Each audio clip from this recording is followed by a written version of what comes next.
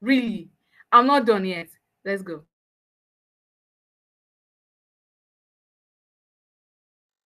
It starts with young minds, guiding them towards harnessing their potential and achieving their aspirations. Its impact extends beyond conventional realms. He has emerged as a prominent leading proficiency trainer, impacting critical skills to hundreds of aspiring professionals and business owners. His teachings empowers them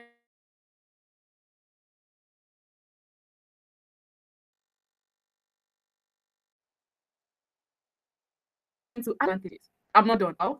Ekundayo Oluwadamilare has established an organization that transcends conventional boundaries. White Global serves as a platform for youth empowerment, fostering self-discovery, and nurturing a sense of responsibility towards the sustainable development goals. I'm not done. Under his guidance, his innovative initiative encourages young individuals to not only discover their own potentials, but also actively contribute to the development of others, creating a ripple effect for echoes far and wide. With a resolute commitment to excellence and empowerment, Ekundayo Oluwadamilare continues to aspire change and amplify the voices of the youth towards driving a brighter and a more empowered tomorrow. Guys, ladies and gentlemen, join me to welcome Ekundayo Oluwadamilare PMP. Please, can we send in emojis? Let's tell him welcome. Like, I don't know, I was really wowed by his citation. So let's welcome him like massively. Thank you very much. So you're welcome, Mr. Ekundayo Oluwadamilare. And yes, the stage is yours, sir. Hi, good morning, everyone. I hope you can hear me. Can I get a confirmation if you can hear me? Yes, we can hear you very well, sir. All right. Um, thank you very much for the invite. I'm really honored to be here. And um, and uh, space of a few minutes, something explosive is about to be shown to you, and I just want to believe that you will make good use of this and um, you will apply everything that you you will see. And first of all, I appreciate the leadership of the church for looking to this direction to open young minds to seeing the need to professional development. Because over the time past, they have been complaining that youth are not capable, things are lacking these skills and the likes. And if you are to make a survey, the skill that the school set is teaching students and what the labor market really requires, it does not match. So, and it's not the fault of the school because the school is performing the function, uh, because respective institution have the capacity to entrain what their core values are. So, for any school that you belong to, class is different, and the school is different because the school is made up of several components. We have the class system, environmental system, residential system, and um, fellowship. Let me just use fellowship system, spiritual system. So many people just go for the academic system. That means the classroom and uh, maybe probably fellowship, and after that, that's all. Only few look into the direction of what the school entails, and that is one of the reasons why I want to encourage you all beyond the classroom. There are a lot of opportunities in your school that you can maximize. So the ball is in your court. Ensure that you maximize maximally. But I'm talking from experience. I I passed through school, and the school passed through me because I enjoyed every opportunity the school has for me, and I have no I would have regrets. Despite the long years in school, I have no regrets because I am made through the opportunity the school provided to me. So once again, thank you very much, and uh, thank you very much, my host, and the awesome moderation was uh, the amazing. The, my moderator, thank you very much. Eh? Thank you very, very much um, for the introduction. I was thinking myself that I don't know who you are reading about, but by God's grace, actually, all by God's grace. So let's go to the business of the day. Uh, make it very fast so that you can see what I have to tell you.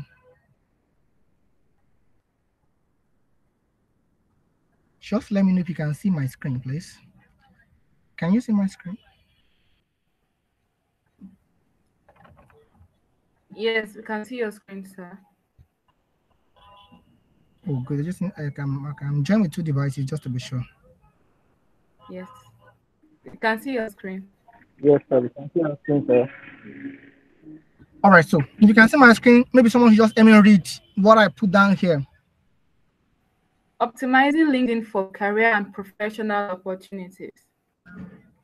Yes. So I want to teach you how to maximize opportunity right while you're in school. And while I was in school, a short introduction. Um, my name has been said. Oluwadamilare Ekundayo, PMP, APM, Scrum Master, and the likes. While I was in school, I was privileged to enjoy a trip to Accra, Ghana for six months. I was in part three precisely, and um, that opportunity changed so many narrative about me. It gave me international exposures. It opened me to meeting global leaders, and since then, I've been better. That's what I can tell you. I've been better. So, if you also need to maximize this opportunity, I need you to pay attention to what I'm about to share with you. So let's go about it very quickly.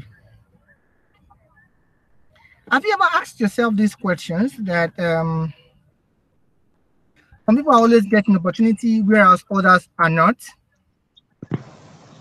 Why some people claim that recruiters are in their inbox every day, whereas others barely get a response for even applying for one? Have you ever asked yourself? Some people will tell you that, okay, being a student, I'm enjoying this. I'm enjoying that. What some people have not even enjoyed once. If you have asked yourself this question, is it like life is biased or what is really, really happening?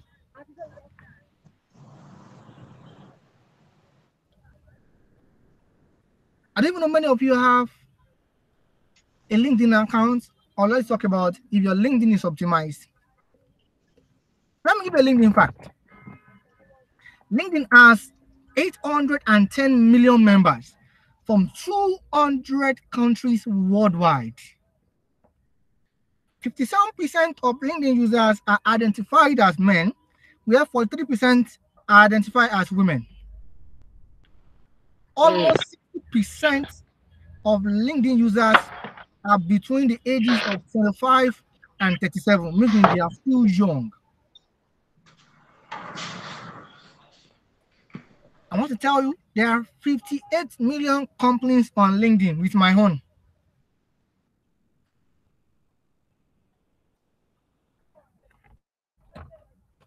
Now, 49 million people use LinkedIn to search for job every week. Yeah, this is a fact. Millions of jobs are posted monthly, sometimes about 3 million jobs are posted on LinkedIn every month. Some, some job applications are submitted every second. That is 4,620 applications are sent every minute. 277,200 applications are sent every hour. These are facts. And 6.65 million applications are sent every day. Please, are you, can you hear me? Because I'm already projecting my screen. Yes, we can hear you. Very yes. well. But your screen is not changing yet. Oh.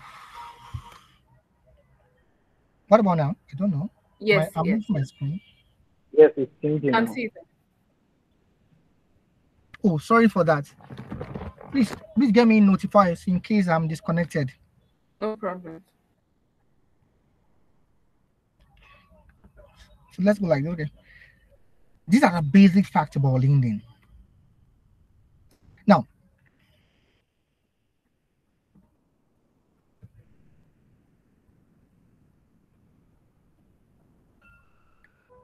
70% of people were hired at complaint where they had connection. 80% of LinkedIn members want to have a mentor or someone to mentor them.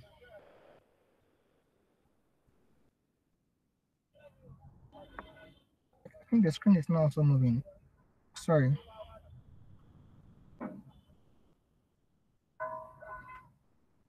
Let me just go like this then. All right. Now, companies with full optimization have five times view more than others. People that use LinkedIn, there are more than five skills, have more 33% visibility to the recruiters. Now, why LinkedIn? Is there any desired opportunity you're looking out for? It will help you build trust. It increases your visibility. It helps your networking proficiency. It, let me on. Let me wind down. Mode. Okay, I think I'm. Feeling it.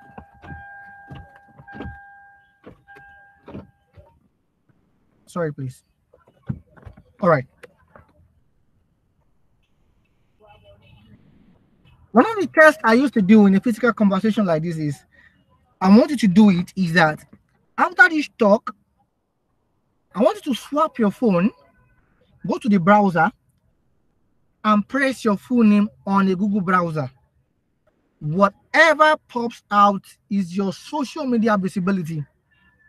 Now, there's a place of prayer, there's a place of action. Many of us pray a lot, but we take less of action. A place of action is where you'll be identified. A place of action is where people will tend to know what you need. You know, there is a space of you communicating what you are passionate about and what you want to do. So this is where LinkedIn can help your proficiency and gives you opportunity. So position yourself as an expert in something. And this can be done through LinkedIn. It helps you to connect with anybody, anytime, any day. I remember my first conversation with the former president Olusegun Obasanjo was through LinkedIn. My first engagement with John MC Maxwell was through LinkedIn. So LinkedIn has given me platform to connect with people that I call the big boys, the big men in the society. And it has helped my organization to get strengthened. And that is why I need to let you know the opportunity you're missing out without joining LinkedIn. So, how do you create a LinkedIn? All you just need to do is just search www.linkedin.com and sign up. And if you have to sign up, you will see the following information on your screen. You fill it, you know, put your name, create a password. Then after that, to come to this profile, enter your country, zip code, follow the process. Now, in this area, many of you are still, if you are still a student, put student. And if you are working, if you are a student and you are working, put what you are doing there. And if you are a student and only thing you are doing is just going to school, just put associate researcher and put the name of your school there. One thing about this fact is that everybody doing what you are doing all over the world will be your friend request suggestion on your profile. Everybody all over. Now, if you stop this, why are you creating your profile? You're looking for contact, to get a job, to stay updated, build network. You know what you need, so you just pick your preference. You just step by step. When you start it, you will see it. And you put your email for you to get verified. And that's all. Welcome to LinkedIn. Now, there are three phases of LinkedIn optimization. You have the trial and error, you have reading a blog, you have optimization tool, and the fourth one is an is a suggestion, paying a coach. Now, if you check the statistics I show here, you will find out that 94% of recruiters are active on LinkedIn, and only 36% of job seekers are active on LinkedIn. That is, people don't really look for a job on LinkedIn. It is, it is jobs that look for people on LinkedIn. When people see your skill, your proficiency, they reach out to you naturally because they need you to join their team. Please, am I communicating? Yes, sir. Yes, we can hear you, sir. All right. Thank you very much. Thank you very much. Sorry, I'm in a car. So just to be sure. So the next 30 minutes, let's go to the real business. Your profile is your first online impression. And we have three categorization of what is germane that you must do to get your profile optimized if you have created your account earlier or you just open an account. The top four, the summary, and the experience. Now, let's go to the top food. The first thing anybody can see is your look. Because choosing the right profile picture will send signals and message about who you are. So you must choose the right expression, wear appropriate clothes, and selfie masters. This is not for you to post a selfie. So you can see the two categorization of picture I set. Now, if you are a recruiter and you see this pictures, I want to hear from your people. Let's say this left hand, this left hand is option A. And the right hand picture is option B. If you are the person looking to give opportunity to people out of the two folds, which one will you pick? Can I get a suggestion from? Can I hear your feedback? Uh, the one on the right. All right. So can I get why so that I can know you can follow him?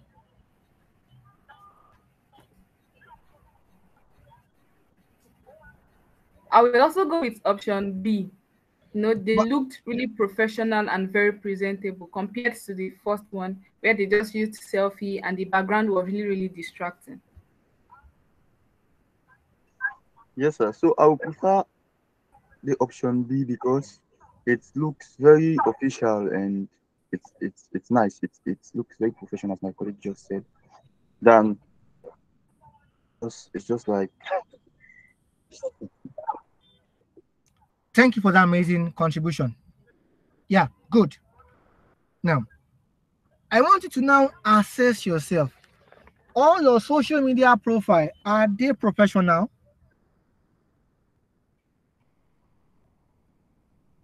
Even going as low to your WhatsApp. Many of you cannot even use your picture as a WhatsApp picture. I don't know why. Many of you use different people's picture, even pastor's picture. I don't know why. Just be you. Because when people are looking out you, connecting you to opportunity, and they'll check the picture and does not relate with what they have in their mind, they naturally withdraw because they are doubting about the person they are communicating with.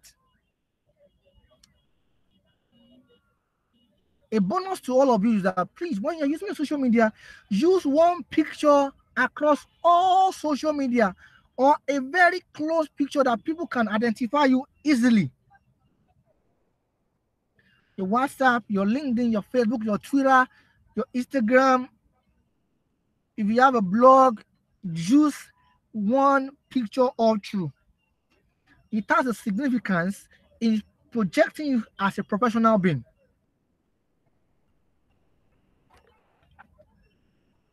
Now, you need to build your profile strength. Your work experience, your skill, your volunteering experience, organization experience, award, writing a good summary. If you have taken any test that is good, put it there. you have gotten any publication, show it. If you have any interest, you can. A lot project that you have done, certification, put it out there. Now, LinkedIn is the alternate of a CV or a resume. Whatever you have in your CV, just transfer them to your LinkedIn.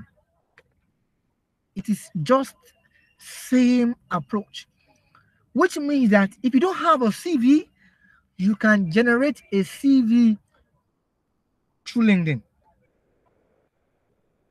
You can. The only difference is there is just a summary. And in your CV, you have what we call profile, but in your LinkedIn, you have summary. We'll get there. Now, for those who have a LinkedIn account, there's something we'll call notify your network for update. Maybe as you're updating your profile, it will be sharing with your people. Maybe if you're conversant on your LinkedIn very well, you will see some people that if they get a new job, you get an update that someone does get a new job. If they get one opportunity, you get a notification that someone gets an opportunity because they've opened this notification bar. So for me, I pull mine off because I don't know why I need to be disturbing people that I'm getting this, I'm getting that, I'm getting this. If you want to check it, go and check a profile.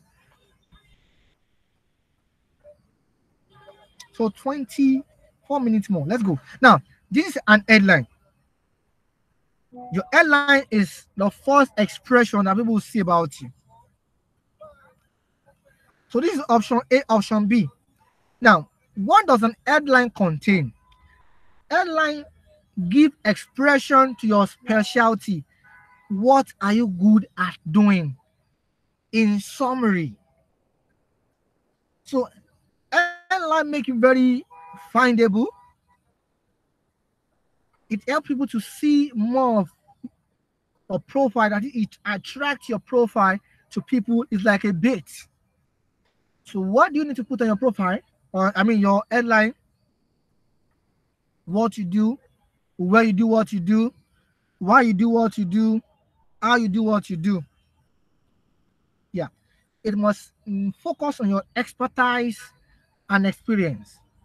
I'll give an example. Look at what I have in screen. He said BS Mechanical Engineering, Michigan Tech, Manufacturing, New Product Design, Mechatronics.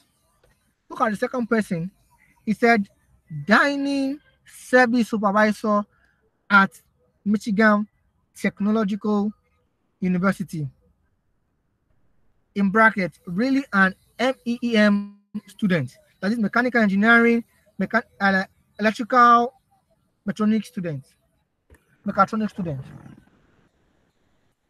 So out of the two headlines, which one will you prefer? Can I get a feedback quickly?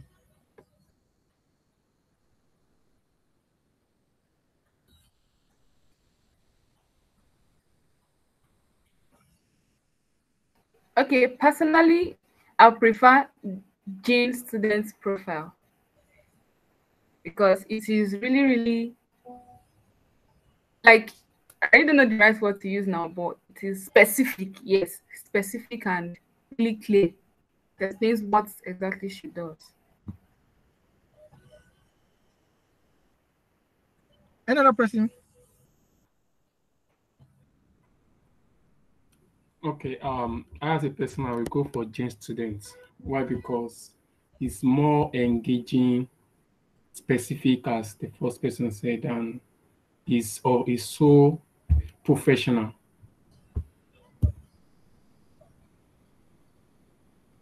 All right, thank you very much. I think majority are going for Jane student. Now, for what you can see there, it talks about his specialization, his skills, and his expertise.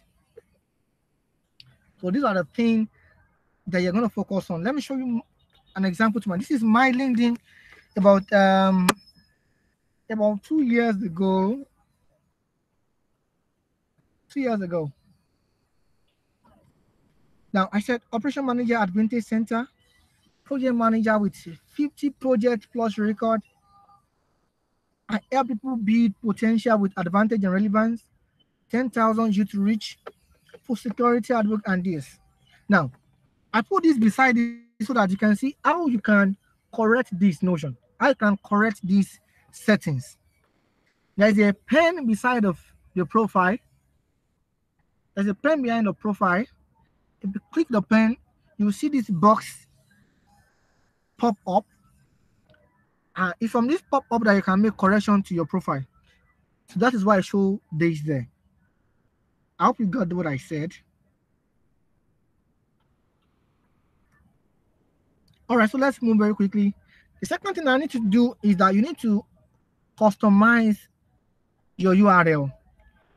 Your URL shows how professional you are.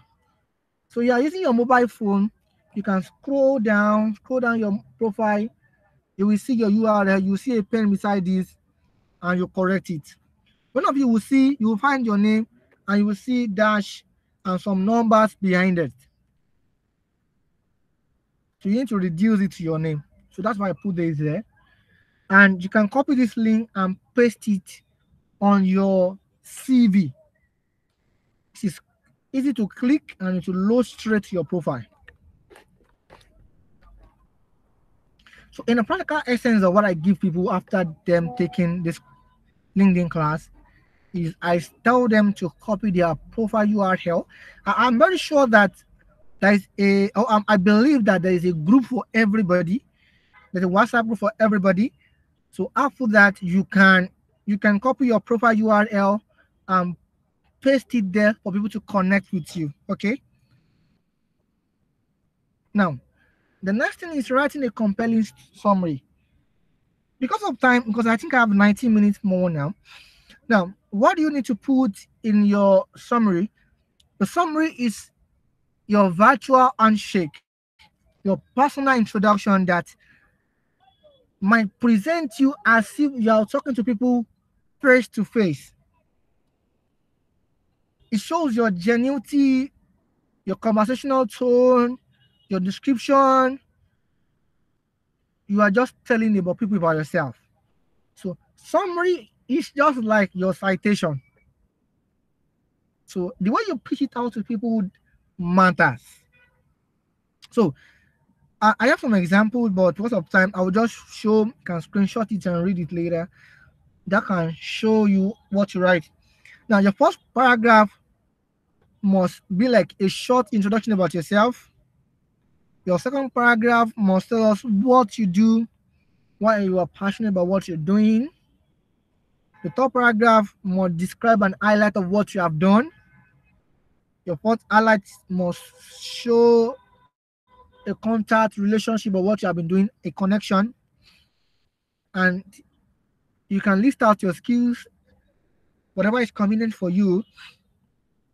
And most importantly, you must use buzzwords or keywords to your feed. So, how do you write your LinkedIn summary? Very important. You write in first person, you know, and uh, you introduce yourself well. Write it in a captivating storytelling manner. Okay. And the character of writing a summary is 2000. So you have a luxury of lengthy words to write depending on you. And one thing is, don't think once you have written your summary once, that is it forever. No, you keep revising it. It might take you time for you to write a professional summary. One of my key advice for you is any niche you have, any area you have, search for people that have gone ahead of you, read their profile, their summary, read about five summary, copy their summary, take time. You can edit their summary to fit where you are. Don't worry, I did that many years ago. I've been I copy people's profile, I read and fine tune into my own taste. And now I've been writing my own summary for the past two years, yes. But in 2018, 2019, I was copying people's LinkedIn. I was editing and editing. I read about six. I will fine tune and edit it to mine. I have their samples on my mobile phone, so that I keep remembering myself. I started. Uh-huh. So it's not, it wasn't a day job. Okay, so you get you keep revising this. Then ask your resume. You can check what you have in your CV and fine tune it in the storytelling with into your summary. This is an example of a LinkedIn summary. You can screenshot it if you can. All right, so let me move on. I think the time is very fast. Here's another example of a LinkedIn summary. Yeah. So let's move quickly. Um, your experience bar. Where have you worked before? Put the description of where you've worked before, your relevant skills, where you have worked. It helps a lot. Now, internship, a lot of things that you have done, just know how to put these together in words. Just your, the way you did your CV, just copy your CV and put it there. Okay. In your educational background, for me now, I graduated from Faculty of Agriculture in OAU, so you can fit all those things in your educational bar. You've taken a professional courses in a school, a school enrollment, you can put it there. Put your volunteering experience, honor and award publications, and the likes. And um, yeah, remember your profile priority, your airlines, your URL, then filling your professional experience, your certifications, your education, your honors and awards, your test score, put it there, then your summary. You know, tell people about yourself, why you do what you do, why you love what you do. Make it an experiential moment for yourself. Then write your experience, functional experience in bullet points. Whatever is convenient for you, just put it there, okay? One of the things I do is that why I make this very fast is it is mostly a practical class. So anything I teach you, I go to my page and I practicalize it for you. So that is it. It's not just a theory, theory stuff or an abstractive profile training. But I don't know the plan of how you want, want us to go about it. One thing I can do is that maybe the first um 20 persons or the leadership of the church should decide. I can help you vet your linkedin profile uh, make comment on your profile for what you need to make adjustments on. I can do that to make contribution to the program. Yeah i can help you check your profile set your profile and make comments when you are done. So let me give you my conclusion and i quickly run to my own linkedin so you can have a view so let me finish by saying this that um it's been a long journey that you have you started with me on this short conversation of LinkedIn. It's a it's like a three masterclass session that we have within 45 minutes. But I want you to know that this is not the end of LinkedIn. It's a gradual process.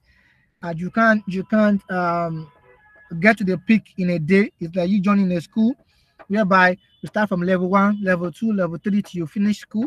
Same things like LinkedIn. You can't get it done in a day It's a process. So you must keep enjoying it, you must keep doing it, and you get better at it by the time you keep doing it. Okay. So I want to encourage you to complete your application. Uh, if you want to have a masterclass session, you can reach out to me. But I won't want to have a masterclass session with you because this is a church thing, and I I am a product of CACYOF OAU, and I got my opportunity from CACYOF OAU, and where I am to the glory of God is a platform I received to the support from my fellowship. So I'll be doing this for my fellowship that I volunteered myself to help you guys, leaders, brethren, to vet your profile, to vet your profile, uh, maybe for the next, uh, maybe like through now, throughout next week. I can help you do that throughout next week. I'll create my time to check your profile, create WhatsApp group for people send in your URL, add me there, I will do it for you to honor CACYOF. And I'm a product of the church and I'm a proud member of the church. And I will keep being a proud member of the church, making you proud everywhere I am. Yes. So this is what I'll be telling you about this. So please, you're looking for scholarship, you're looking for grant opportunities, We're looking for publications. I got all these on LinkedIn. My first grant came from LinkedIn, meeting people. My trip outside the country came from LinkedIn. My job, I finished school recently, and you know, people have been saying there is no job, there's no job. I don't know. I right now, as of this morning, I see I have 140 job offers on my page. If you think you have a skill that can help you with when I check your LinkedIn, I can send you job opportunities or send job opportunities to the pages where we belong together. I can do that to honor the church. I can tell you there is job in this country. There is job. Don't be bubble. There is job. High paying job in this country. So I've seen several job opportunities, but I've not done my service. But I can tell you that jobs, I've seen it myself. I've witnessed it myself, and I can tell you further study, scholarship. There are a lot of these on LinkedIn. I've seen professors get grants to help their students. So I don't know what more I can tell you about LinkedIn than that. LinkedIn is for you. So in five minutes, let me quickly show you my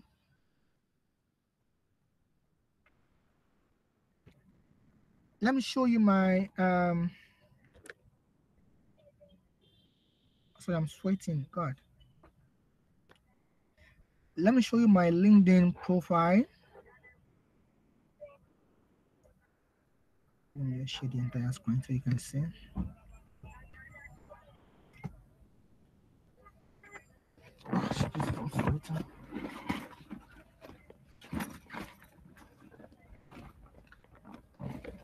Be sorry, I'm on a project in Oshogbo, so just got to park and take this class.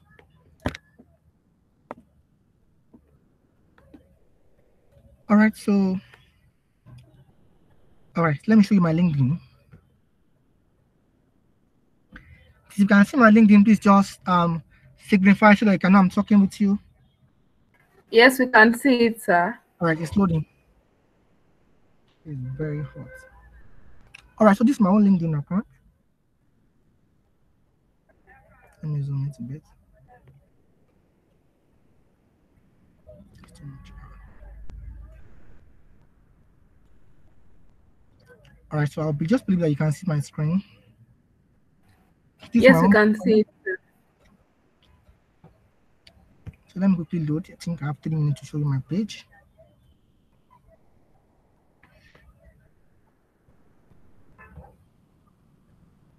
Now you can see that I've changed my profile.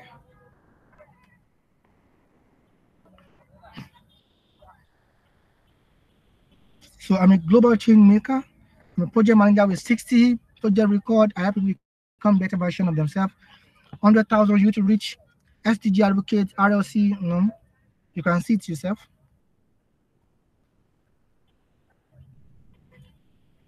So this is the URL. You can see my cursor. Can you see?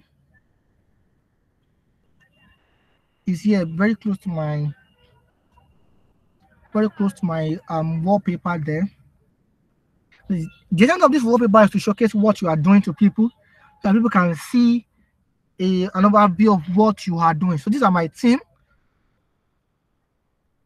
So let me scroll down to my profile so you can have a quick look. So, like I said, it's not a day journey, so don't rush yourself. So this is my LinkedIn summary. If you have the time, maybe later on you can go and check it. This is my LinkedIn summary. These are my job experiences, the one I'm telling you. So this is my job experience. You can see my job experiences. So I have 21 experience, job experience on LinkedIn. You can go and check it. Education, you can see my educational knowledge. My other schools, you can check it there. My license and qualifications, you can see there. Project I've done, you can see there. And volunteering experience, you can see there. The skills are my endorsement, you can see there. Yeah, these are my recommendations. And uh, recommendations help your LinkedIn get stronger. So you need a recommendation. So these are my, I think I have about 113 recommendations on LinkedIn. These are my publications. These are the courses I've taken. These are my honors and award. Okay, so. I'm. All right, so these are my test score. You can check, and these are the organization I've worked with. So, and these are my interests. So that's it. So it's not a day job. I have one minute for DK. It's not a day job, but I tell you, it's a gradual process. If you believe you can, you will. And uh, please don't doubt yourself. Rome wasn't built in a day, so that is. So my name on all social media is Ekundayo Oluwadamilare. Uh, the name of my organization is White Up Global. You can search us online, I have more knowledge about what we do. We are open for collaboration, and this is exactly 955. So I think it's better I stop projecting my screen.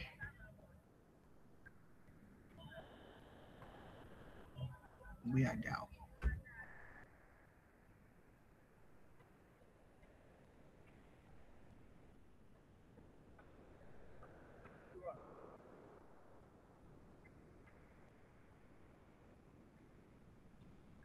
All right.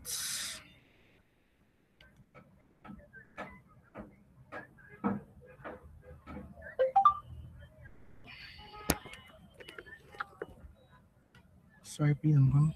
All right, so if you have any question for me, I think I have about five minutes to go.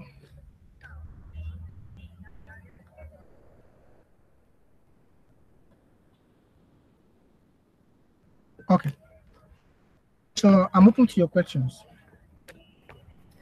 Okay. Thank you very Thank you very much. I'm grateful for the opportunity. Thank you, Mr. Kundaya, for that wonderful session. Thank you very much. And guys, I'll keep saying it. I help you with your jotters and your pen because it is necessary to take down the things he told us. I'll just do a, a quick recap for those that maybe they came late. We talked about LinkedIn optimizing your profile. You know, he said something about LinkedIn being like your um virtual CV. Yes, you know, on LinkedIn, people, professionals, they get to read more about you. That's why you actually have to take the effort to portray yourself properly. For those of us that use selfies as our wallpapers, you know, deep our display picture rather, you know, you have to change them. And there's even this new invention of AI AI photos. So you can just like leverage on that and make sure you get a professional shot in case you don't really have the means to get a professional headshot yet.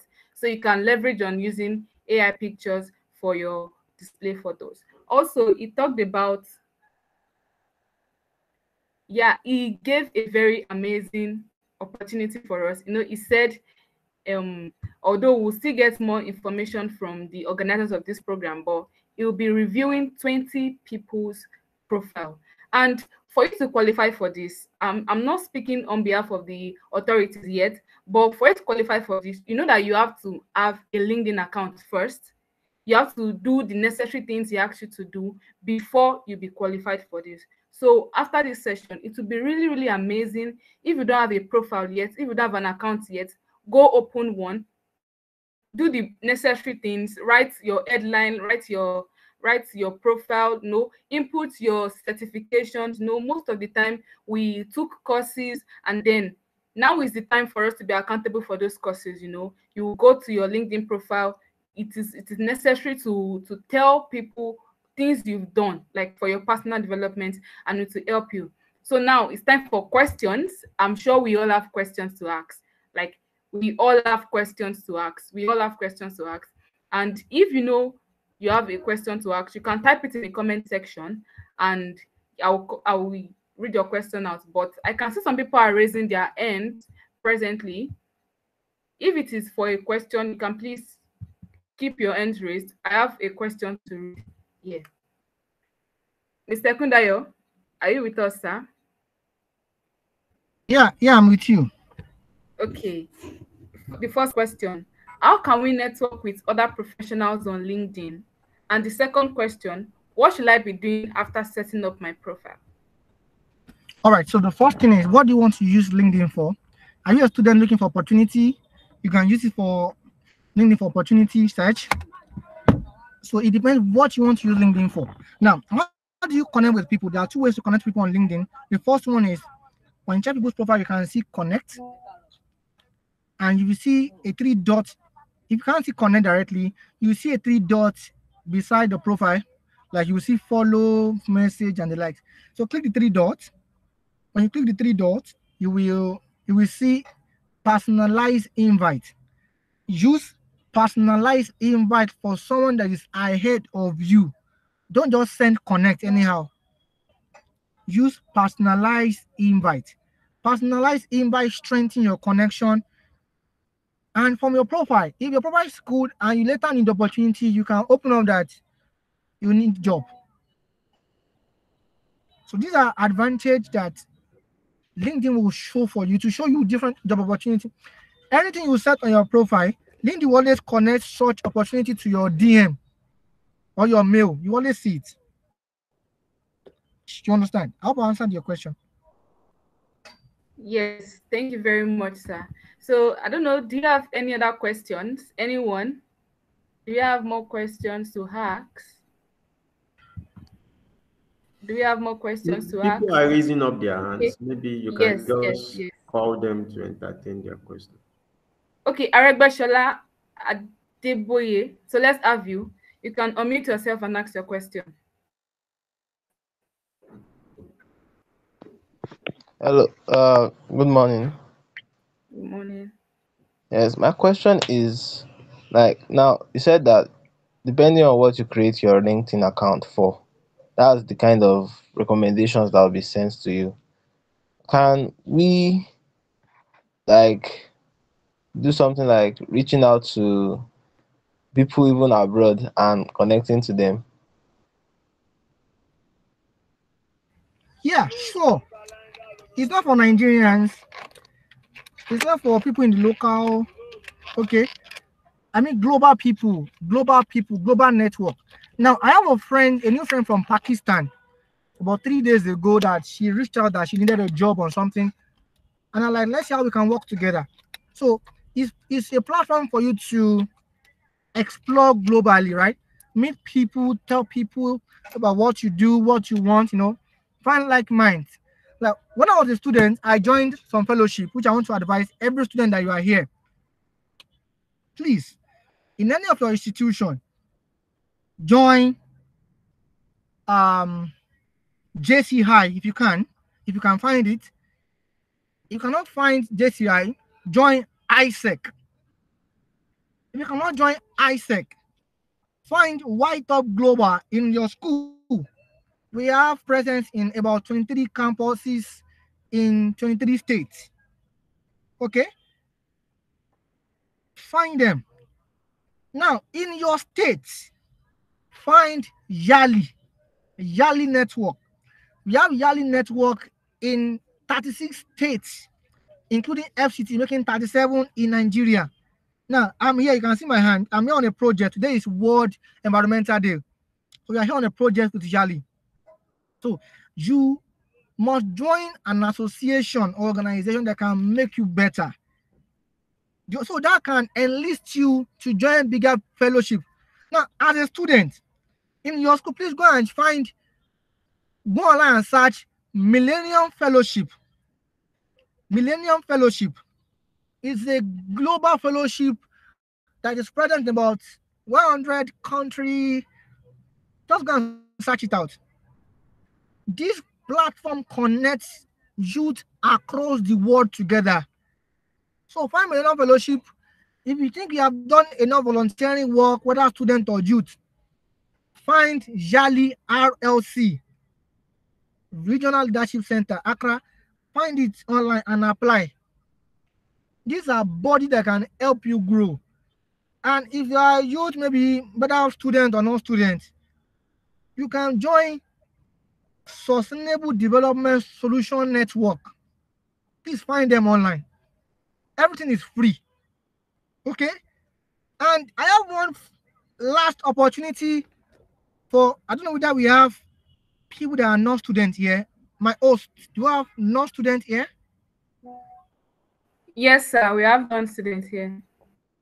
Okay, so are you uh maybe a graduate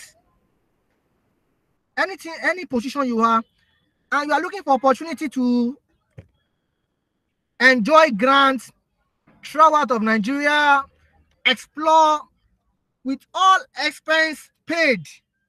Please note this website opportunitydesk.org.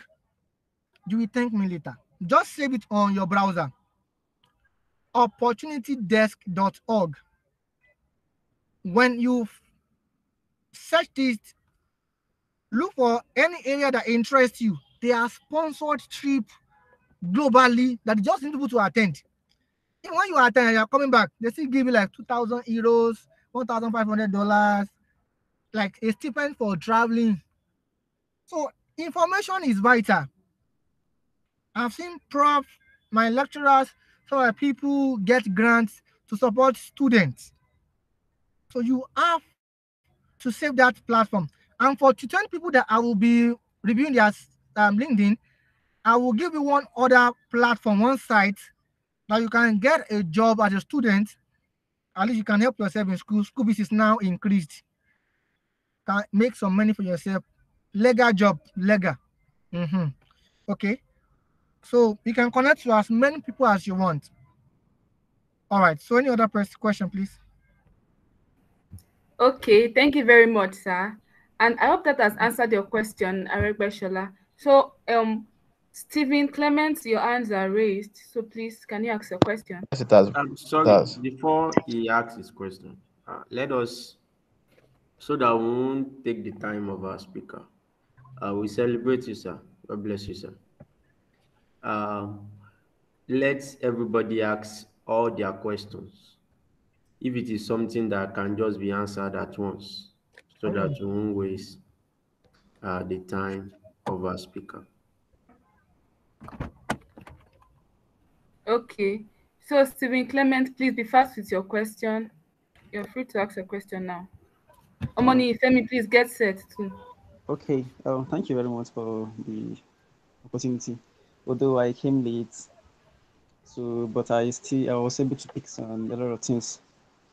Thanks, awesome. And my question is um, you know, when I came, I it was talking about the the LinkedIn and how to connect with people around the globe. Um, my concern is um, how um legit it is.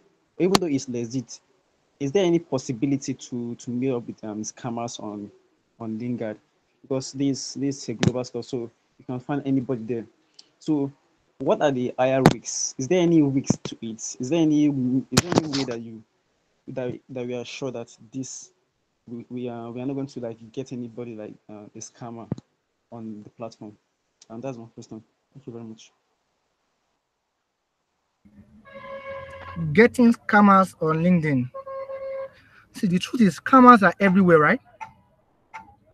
But one thing you must know is before you can be scammed,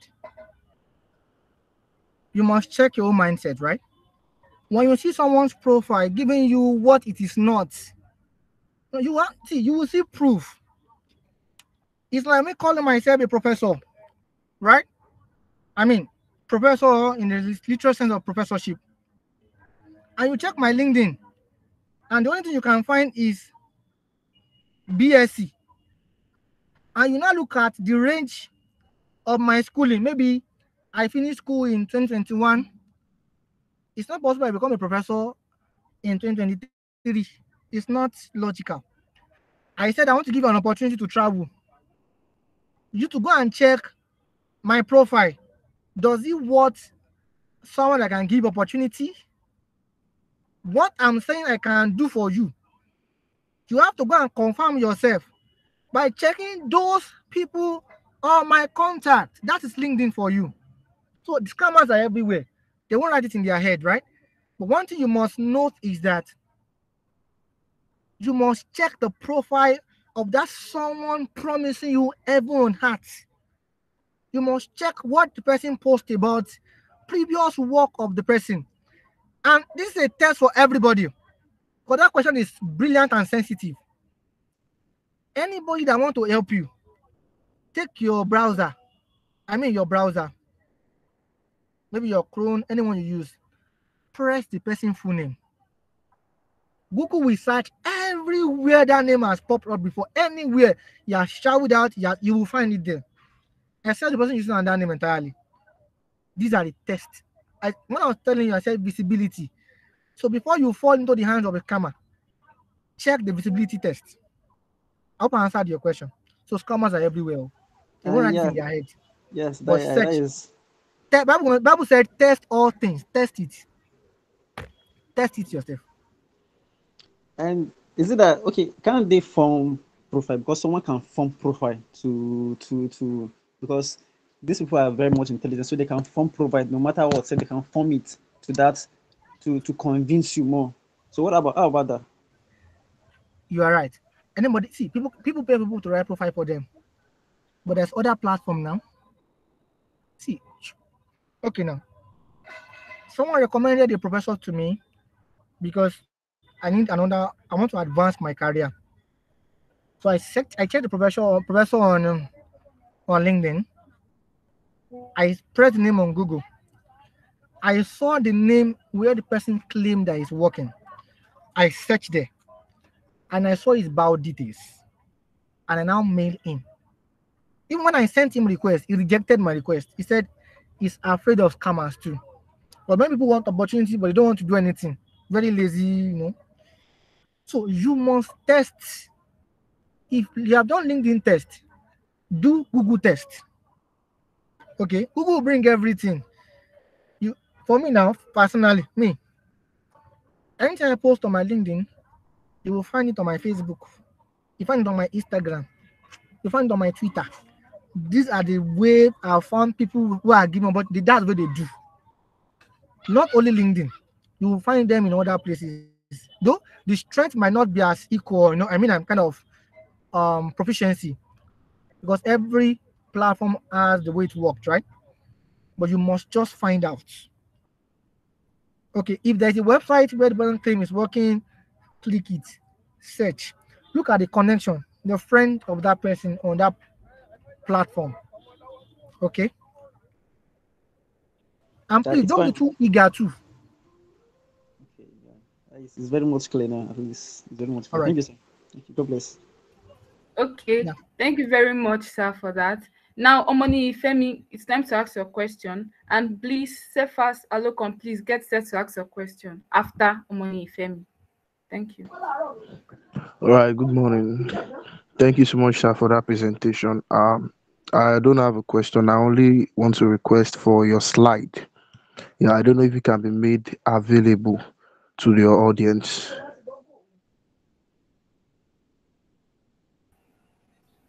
Please, say fast, please. Can we have your question, too? Okay, thank right. you. Okay. All right, sir. Good morning, sir.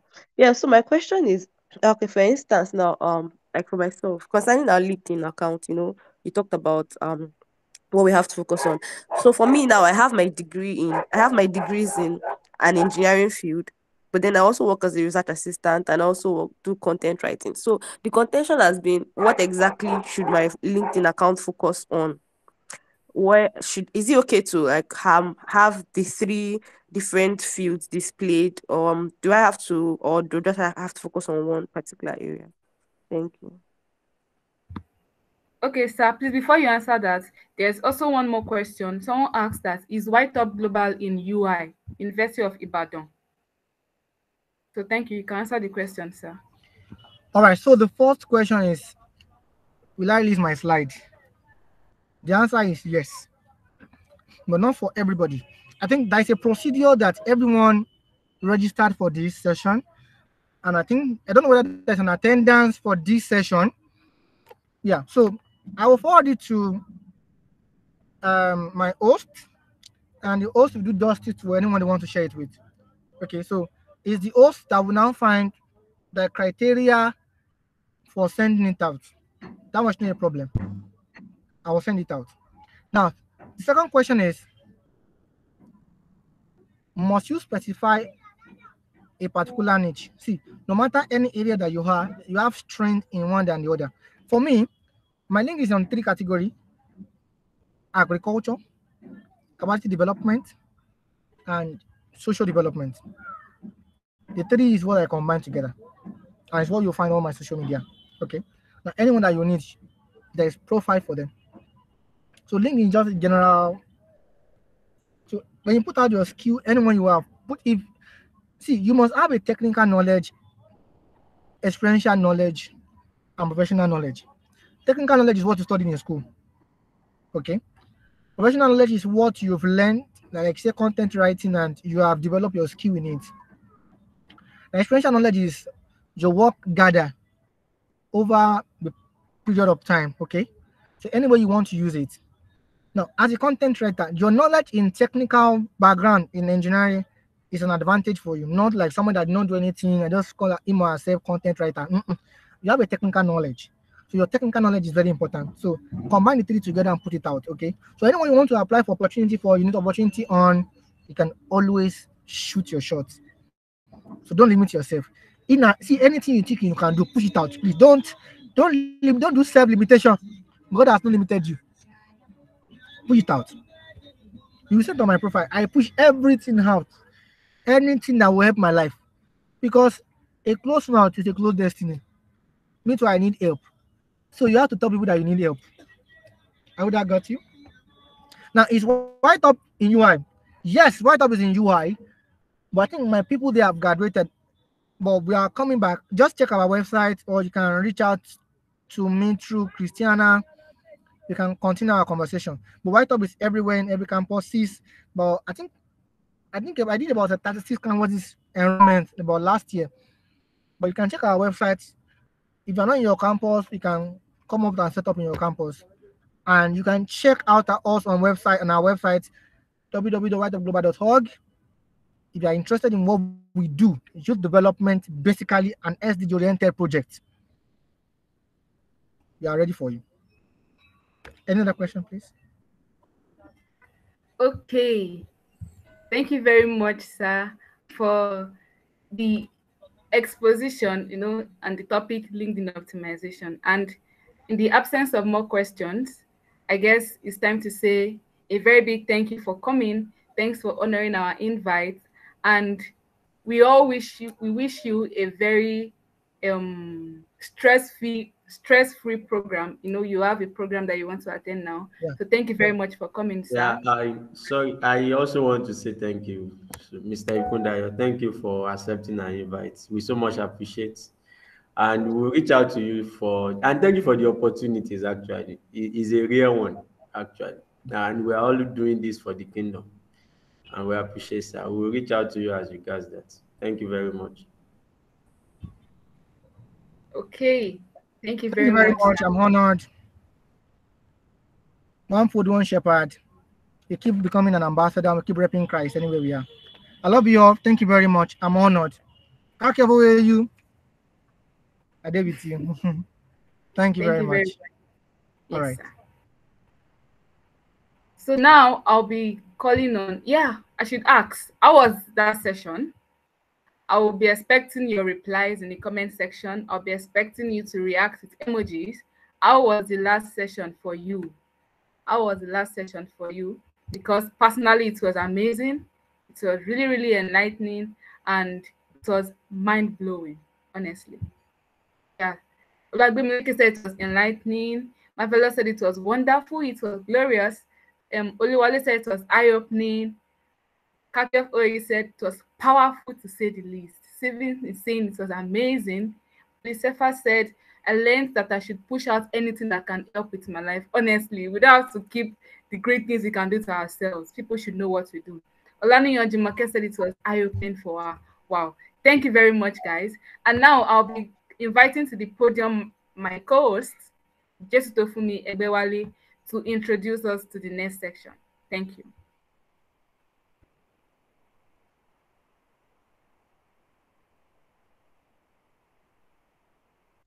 All right, good morning, everyone. Good morning. Good morning, everyone. So um, I want to say thank you to our host, Christiana. So thank you for welcoming me on board. So my name remains Jesus Dofumi Egbewale. So I want to ask again, how has the session been going? Uh, so I just want you to type it in the comment section. I'm limitless. I'm limitless. I'm limitless. I'm limitless. type it in the comment section. I'm limitless. I'm limitless. All right. So uh, we we are going forward into the next session. So uh, speaker is Mr.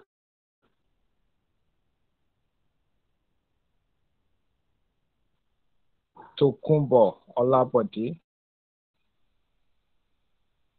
So um, I'll be reading his recitation shortly. So please just listen attentively as I read um, his recitation. So, Mr. Olabode Tokumbo is a multiple time award winning entrepreneur years of experience in business, ranging from cryptocurrency digital marketing, business visibility, and partnership to mention, but entrepreneur is passionate about helping others entrepreneurs boost their sales by connecting them to potential clients through lead generation and engagement via various social media platforms, sort of WhatsApp, Facebook, Twitter, Instagram, and LinkedIn. He's currently scaling the Amtos brand. It's a personal brand by, ex by existing Web2 and creating Web3 related human capital development content for the community. This community has fresh graduates and professionals with two to three years work experience. He successfully and built the community from ranging from 50 to 70 to over 50,000 in audience size. Olabode Tokumbo is intentional about living, disciplined, and a standing ovation. Can we join me welcome Mr. Tokumbo Olabode? You're welcome, sir. All right. Good morning, sir. Um, how are you doing, sir? Good morning, sir. You're welcome. All right. I hope I'm fine, sir. Yes, sir. You're audible. We can hear you, sir. All right. So um thank you so much, sir. Thank you so much, Ma, for the um opportunity to share what the little I know. And thank you for the uh for the grace. It has been grace actually. And then thank you, Mr. Oluwaseun Cephas Alokon. Thank you, Mr. Gideon. And thank you everyone. Thank you so much. I appreciate this opportunity. So um well, I am. I, I actually traveled, and it was an urgent stuff. So that's why I see me inside the car, and just like I just have to like deliver because it has been scheduled already, and it can be shifted. So um, well, I what I do basically, you know, just like uh, my citation mentioned that um, serial entrepreneur. Yeah, everything started on um on campus as an undergraduate, my 100 level, I was a journalist. I worked uh, as a journalist on campus and blogger. Yeah. I started with Campus Villa. Then it was owned by Mr. Oluwaseun Alokon. Campus Villa, he started it, and then I was his assistant. Then at the point, I became his um, my chief editor. And I think I did that from 100 level. I did it in 200 level. Then 300 level, we stopped. And then I became a blogger. Part part three, yeah, doing businesses, still doing the PR stuff. Me put to advertise because I have audience. I have people to advertise their product. Like being intentional because you know, um, life is all about a journey and life is process. You start the fact that you start something now doesn't mean you're going to stop at that thing. It means it's a process. Like for instance, now Facebook, when Facebook started, you know, it all started as a free platform, but today they are making billions of dollars in ads and other services they offer. But I knew that in the at the initial um stuff, they didn't see that they, they are going to make so much or they are going to make money. Mark Zuckerberg did say it that way. So you know, in this life, when you want to do something, just do it.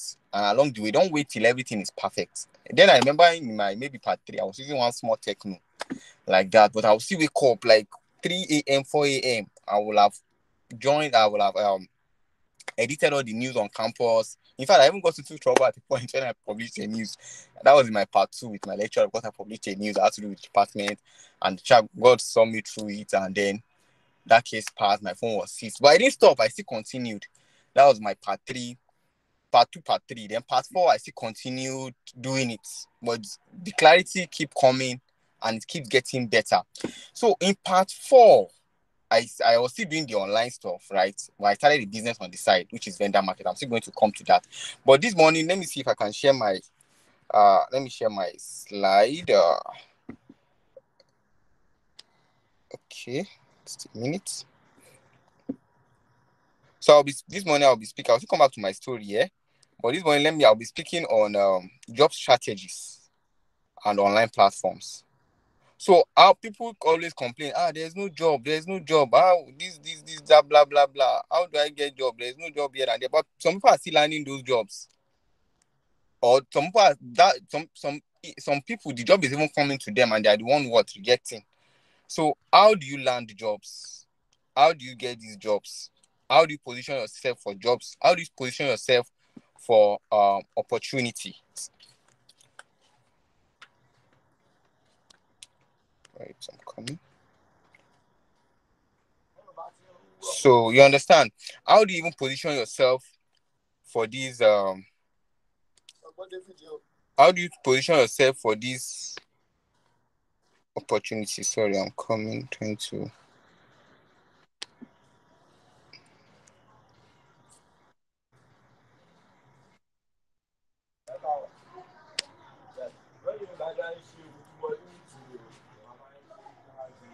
sorry please i'm trying to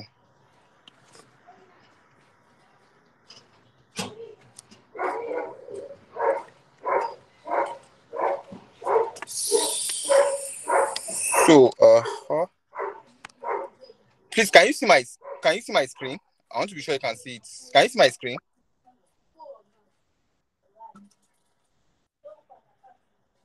Yes, sir. We can see Yes, your we can see screen, your screen, sir. okay so you can see my Yes, slide sir. Yes, sir. all right good. Thank you. So what is a job to start with? You see if there's anything that we in our society right if there's anything that's going to be any uh, respect is your job. Are you doing something? And what are you doing? Are you doing it with all diligence? Even the bible said it in the book of proverbs that says thou a man what diligent in his what in his business on his work and his is going to stand before kings and not near men.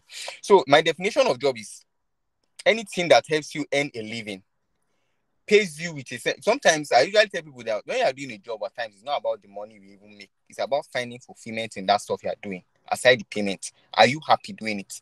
So that's why i don't like people when people are stuck with something that they do that oh let me just do it for the money. Do it with a sense of fulfillment. Job is anything that pays you with a sense of fulfillment even if you won't be paid but it brings what that fulfillment to you so basically you feel fulfilled doing it which means that that stuff you are doing even if they're asking you to volunteer or if they're asking you to do it for free, you will what gladly do it and do it. And I have something that I usually do, which is this, or which I even employ people to do on that promise, but what over deliver. There are sometimes that I write CVs for people, and they will send new. Okay, when you want to write CV with me, for instance, when you want to, after you make payment, and then you fill a form, that form has everything that, that you want to fill, even right from your date of birth, everything, right from when you were born, anything that you want to fill, that form has provision for it. So most of the time when you are done, I'll be like, oh thank God, I'm done with this job. Let me move to the next one. The next thing you just maybe two or three days later, when you have moved on and you're like, oh, this job is done, let me start on that one. They'll just come back and be like, sir, I forgot. Uh, I forgot I had the certificate. I forgot I worked in this place. And I didn't know it was really important. Kinikon, kinikon, all those kind of stuff. But what? I'll still go ahead and do it for them. And I make sure what when I'm doing this job for them, they are what satisfied. So anywhere you are working, make sure you give your best because it's that best that will give you the desired progress that you want. Because you don't know who or what you will do for somebody when delivering that job that will require you or any another job. Right? So the strategies for getting this job, there are many strategies. You see, one of the strategies for getting this job, number one, usually people come to me that say, I want to work here, or I want to learn a skill, I want to do this, but I don't know. Help me to pick. I usually tell people that see, people can't pick what you want for you. I don't know you as much as you know yourself. For me now, anything that has to do with calculation, I don't involve myself in it. It's not my strength. But when it comes to reading, right, hey, see, that is my strength. So I would just that what try as much as you can to play by your strengths. If it's writing that is your strength, make sure that you position yourself for job opportunities that is in line with writing. If it's calculation that you want, position yourself for opportunities that is in line with calculation. Now, for writing, you can, you can be a content writer, you can be a content developer, you can uh, content marketer. So there's a lot of writing stuff. You can be a SOP, a CV writer, statement of purpose, all those writing stuff. You can be an academic writer. That is your strength. So what I usually advise people that to try to know your strength and what play by it, maximize it to the last. So one of the strategies involved in getting a job is what your strategy. What strategy do you want to imbibe? And number one strategy that I usually for me is mental work. Think about it. Okay, you want to work with MTN as this or as that. What do I need to do? What do I need to learn? What are the people that I need in this stuff that will position me for this? That will position me for this opportunity. And then strategy is, any, is mental work. Any purpose you implement. So you know you have already done that mental work. You have done that calculation that okay, in the next one year, if I start learning programming, in the next one year I should be able to learn maybe Java, C Sharp, and all those kind of stuff. And then the next two years, I will now now specialize to maybe front end or back end. And then for you to do this, one of the things that you have to do is you have to do your SWOT analysis. SWOT analysis, S-W-O-T. And that S stands for strength. The W stands for weakness. The O stands for opportunities. And the T stands for threats. Now, this strength is what I just finished mentioning some few minutes ago. You play by your strength. Know what is your strength. Some people is calculation. Some people is writing. What is your strength? What what what what what what how will I put it? What can you do effortlessly? Some people is singing. You get play by your strength. No, I usually tell people something that you see, one of the things that is very important in life is understanding yourself. If you understand yourself, you won't have problems. So that when you understand yourself, is when when you understand yourself is um that is when something will happen or an opportunity will come your way, and you know that no, this is not for me because you know that this is not your strength, and you maybe might end up struggling and not deliver to the maximum. But when something is your strength, you deliver even more than expected. You get you deliver even more than expected. So play by your strength. Your strength, know what is your strength. What is that that that stuff that that that you enjoy doing. So the W stands for weakness. Now this weakness can be that that maybe you are not really good in that particular thing. How can you measure up? One of the ways that you can measure up, for instance, let's say maybe you, you, you like calculation and you like all the data analysis, uh, um, data science, and all this. And you notice that you're not really good in those things. How can you cover up for that weakness? One of the ways you can cover up that, for that weakness is to acquire the right skill.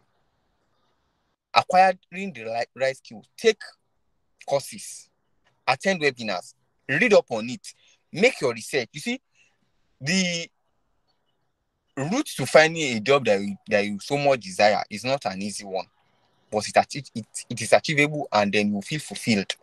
So, what is your weakness and what is what can you work on that weakness? The all stands for opportunities. Now, if you're a data analyst, what are the opportunities that are there for you in your industry? You see, every industry have opportunities in abundance. It just boils down to you to what to position yourself for that opportunity that's in that place. If you're a data analyst, you have the, if you go to LinkedIn, for instance, you see a lot of data analyst jobs on LinkedIn in US, in UK, Netherlands, Canada, a lot. So when you see those opportunities and you position yourself very well as a very good data analyst, you know opportunities abound. If you are um, a digital marketer, there are a lot of digital marketing with top companies looking for people that will help them set up their pages for marketing. If you are a writer, there are a lot of companies hiring both on site and remote, writing jobs making thousands of dollars, making a lot of money in that writing stuff. So that, those are the opportunities. Identify the opportunities that you want in your industry when you are um, carrying out your SWOT analysis. Then the T are the threats. What are the okay? I want to be a analyst now. What are the threats to this stuff that I want to learn? Like the shortcomings, because every industry have their own um, threat? What is like for data analysis, for instance, at times maybe you might not get the calculation right, or you might not be an- analyze it right, or it might be that maybe uh maybe you don't have a very good laptop that will be able to take in some apps for your analysis stuff, or maybe as a writer, you are not you don't know how to network very well to get jobs based on referral and all those things. You don't know the um, site where you can stay or position yourself for those opportunities to come. So carry out a SWOT analysis is very, very important. Sit down, take your pen and biro, write it. My strengths are this one, two, three. Okay, good. These are my strengths. Then you now, when you write maybe five, you can now strike it out one after the other, one after the other, till you come to the best one that you think, okay, this is one I want to go with, and I'm ready to go all in. If you want to go for something, right, go all in. Like go all in, totally all in. Then the O, the opportunity, like I said, and the T, the threat. So number two, what are you and what do you enjoy doing or find fulfillment doing? So the question is, who are you? Do you understand yourself? Because there's someone that don't understand themselves. They wait for people to dictate who they are, which is wrong. Nobody should tell you who you are. Nobody should determine what you want or what you want to achieve. And that is why I usually have people that uh, they can't make the decision by themselves. They have to wait. There's no, there, you see, there's a difference in between you asking for advice and you making your own decision. That okay, this is what I want, and this is what I'm going to achieve. And most of the time, why people don't find fulfillment is because what they are doing is not even them that pick it. Somebody else picked it for them. And that person can be you. That person's experience is different from your own experience. Childhood up, uh, upbringing, environment, life experiences, lessons, and all those things differs for everybody. Where I grew up is different from where you grew up. My experiences is different from what entirely different from what, what you enjoy doing is different from what I what I enjoy. So who are you exactly? Who are you? So one of your greatest or strongest points is knowing who you are, knowing your person, knowing the kind of person you are. That this is what works for me. So that you won't say so that when you know what works for you, you won't hear that today is affiliate marketing that is um, that is selling. Next thing you two are doing affiliate marketing. Ah, they say it's coding that the money. They say ah, more programmers are making money these days. So sha sha sha sha sha. You two are front after learning programming. In the next two or three months, you already you, you, you you've given up already because you can't continue, you can't keep up. That is not your strength. Ah, they say is um, um which other this uh, that is, um selling. Next thing, you two you want to start go, no more, just stay one place and be good in that one place. It's there's nothing wrong in diversifying. Master one. I just tell people master one and diversify. Life is a journey. Life is a journey, and we get better. The journey was get better daily. The journey was get better daily. The journey was get better daily. When you start doing something, clarity will come. So jack of to me, um, some people say um, jack of all trades, master of none. Life is a journey. That you start doing something today doesn't mean that in the next two years, three years, you can't change. Nobody will be there to feed you when you go hungry, if that is what you want. Because most of the time, what gets you here, what gets you to, to 400 level, for instance, from 100 level to 400 level, will not get you a job outside campus. Or what, what got you to um, maybe your master's level or this thing will not get you to the post of a manager. So you have to up your game every time. You have to review, review your journey. Maybe every three months, every six months. How am I doing financially? How am I doing spiritually? How am I doing mentally? Am I progressing? Am I succeeding? Am I getting this thing? Review. Always car- car- carry out a self-analysis. This is what I do often. I'll just look at it. My friends, okay, this person, okay. Hope my my my relationship with this person is okay. Are we progressing? Is he adding to me? Am I adding to him? Is he impacting me? Am I impacting him? If you don't just live life like that, some people just live life no re- no self-analysis, no intentionality. They don't do it. They just live in life, which is wrong. So don't let the word, people, family, or circle dictate who you are. Pray and follow God's lead. You see that prayer is very, very important. When you have picked a, a, a, a niche that you want to, a job or something that you want to do, pray about it. Hear from God. Commit that into God's hands and put in that. The fact that you pray now doesn't mean you should not put in the work. No. When you pray, you corroborate it to the work and you see that yes, everything is going to work out for you perfectly. Commit everything to God. Even the Bible said it. Pray without ceasing. And it's and book of Matthew, is it Matthew now? He said, Pray, ask and it shall be given, seek and it shall find, knock and door shall be opened to you. Pray. So that prayer part is very, very important. I don't joke with prayer. Prayer is very, very important in this journey because you can't do it alone. There are times that you get tired, even at what you enjoy doing, because you might just get tired and maybe you've achieved a milestone and be like, ah, oh, let me rest. I have tried. No. That impact is very enough. There are people's lives are attached to yours. And you have to get to that place. Because if you don't get to that place, those people's lives that are attached to yours might not what? Might not come to fulfillment. So when you are doing something, don't do it for you alone. You are doing it for your family. You are doing it for your siblings. You are doing it for your generation. You are doing it for your friends. You are doing it for people's lives that to you. Like I, the way I am now, that people that are attached to me. If I fail today, they will fail. If I succeed, they will succeed. If I do well, they will do well. Right? So another number three, the third way of positioning yourself for a job is skills. Because when they want to hire you, or when you want to do something, one of the things that they will look at is your skills.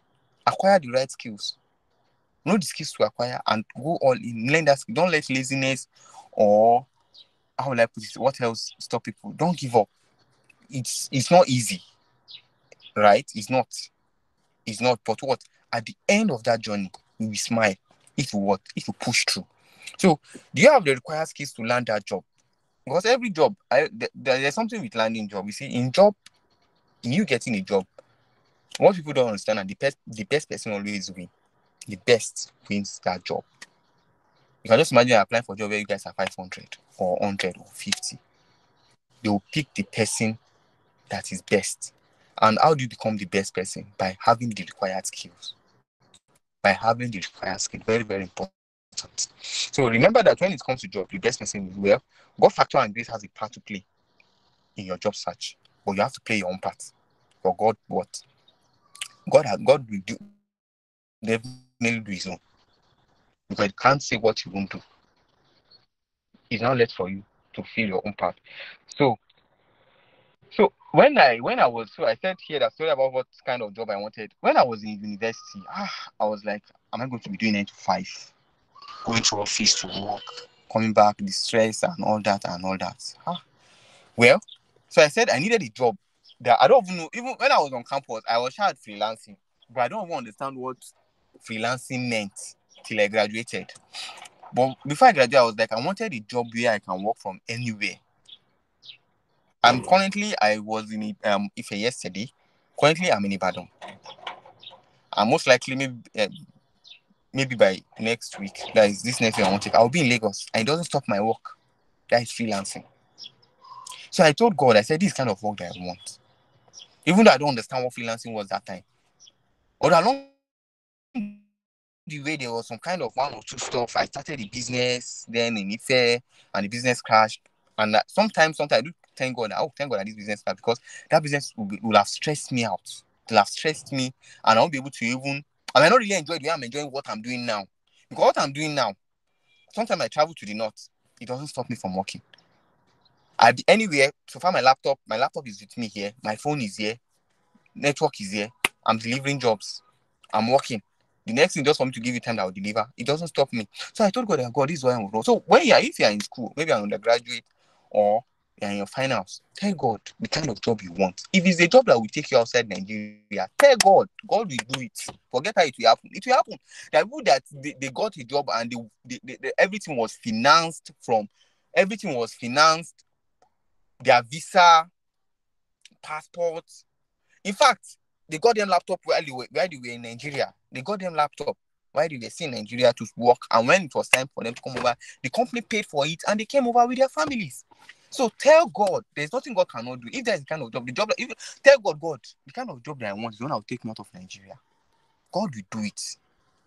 It's now left for you to position yourself and work towards it.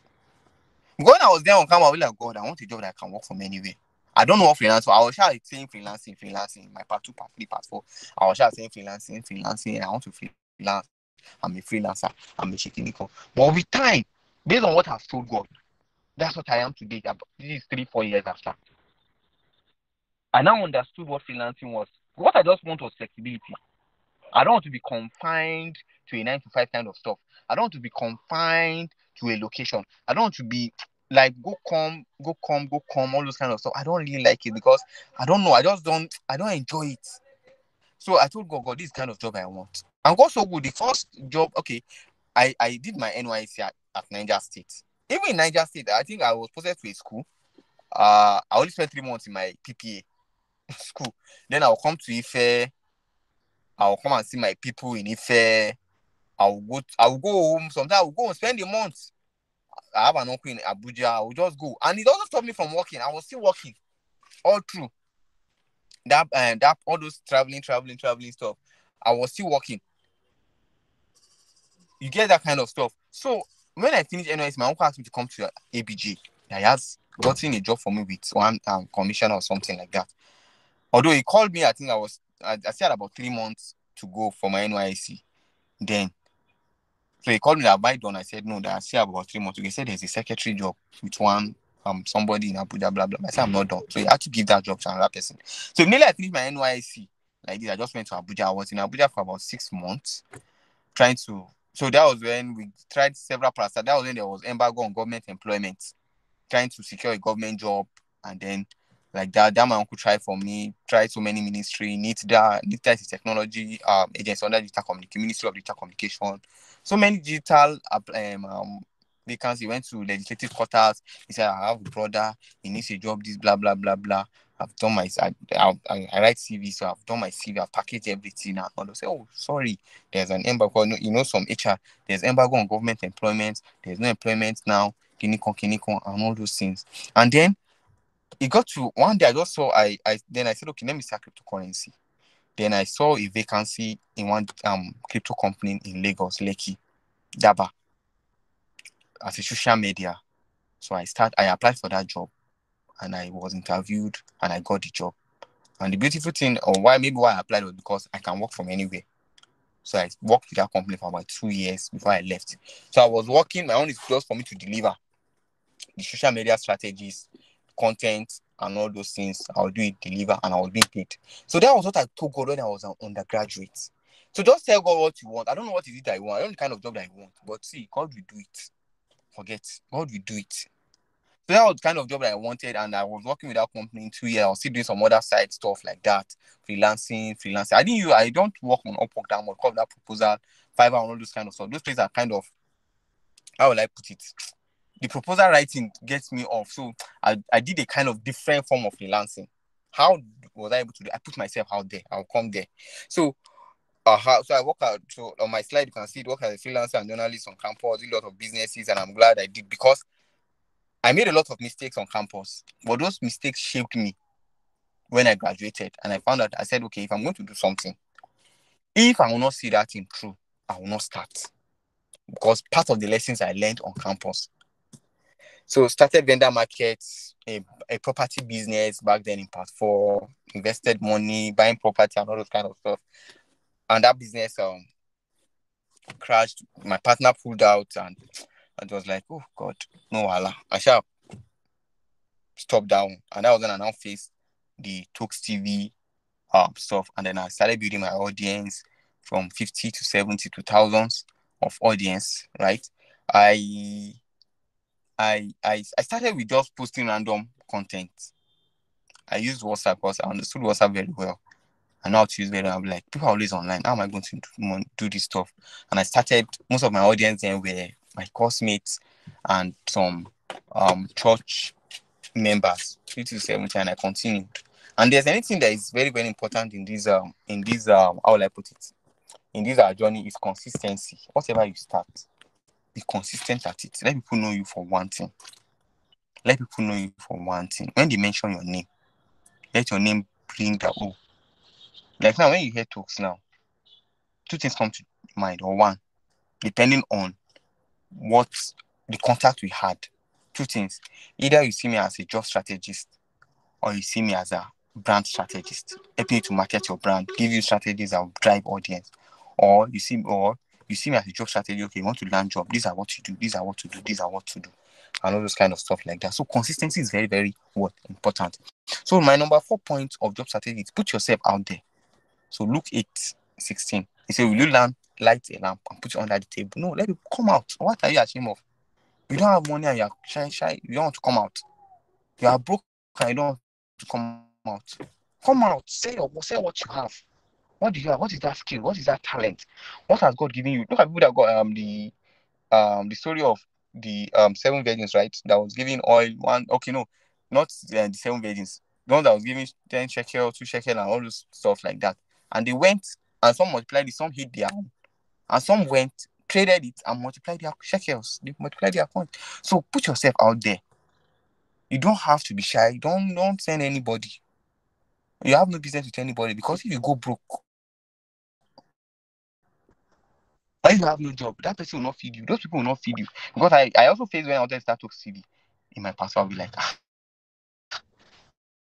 God. So I'll stop doing this Vienna market and start Talk CD. No people talk. Well, I don't, I'm a kind of person if I want to do something, I just go all in. I don't care what you want to say. I don't care. That's my kind. I have that. I have that. Recently, I started even giving some kind of concerns based on what people will think. I don't care what people will think. So far, I find fulfillment in what I'm doing. So far, I find like I'm happy doing it. What anybody thinks doesn't concern me at all. It's left for you to keep thinking what you want to think or talk what you want to talk and all that. And then I started Talk CV. Probably like ah, so I'll start to I'll start WhatsApp stuff because then WhatsApp that WhatsApp was the trending stuff then. But I said, man, I'm going to do it. I'm going to do it differently, and that was how I got into job. I didn't start with the job stuff. So like what I said when I started, just start, and with time clarity come, clarity will come in. And when I started the job stuff, I was like, ah, people are always asking me, do you want to, uh, do you want to review their CV? I had to go and learn how to write CVs, watch a lot of YouTube videos, took paid classes, pay someone to even teach me how to write it, how to do them. And with time, I developed more on what I learned. So put yourself outside there. Position yourself. That that by just putting yourself outside, job will come to you. Jobs what we come to you. So don't say you don't want people to know you, yada yada, but you are looking for a job. No, nobody will feed you. May not be somebody usually one of my friends usually may not be knowledgeable, uh, may we not be a knowledgeable broke man. You have knowledge, you have skills, you have something to sell, you have something to sell to the world, you have something to impact with people, but you're hiding it. So you see, you are knowledgeable, you have talent, but you are broke. Knowledgeable broke man. May we not be a knowledgeable broke man in Jesus' name. So always do what's needed till you find your purpose. Some people will do different things before they find their purpose. You will do a lot of things. Keep doing it. Keep doing it, ideating, keep iterating till you finally get to where you want. And then you know that God. And at the end of the day, you thank God that God, thank you. Now, all those things that you pass through are meant to teach you one lesson or the other. They are meant to position you to learn. The things that I learned in my part one to four are lessons that will stick with me forever. That if I'm starting another brand, I know what to do and I know what not to do.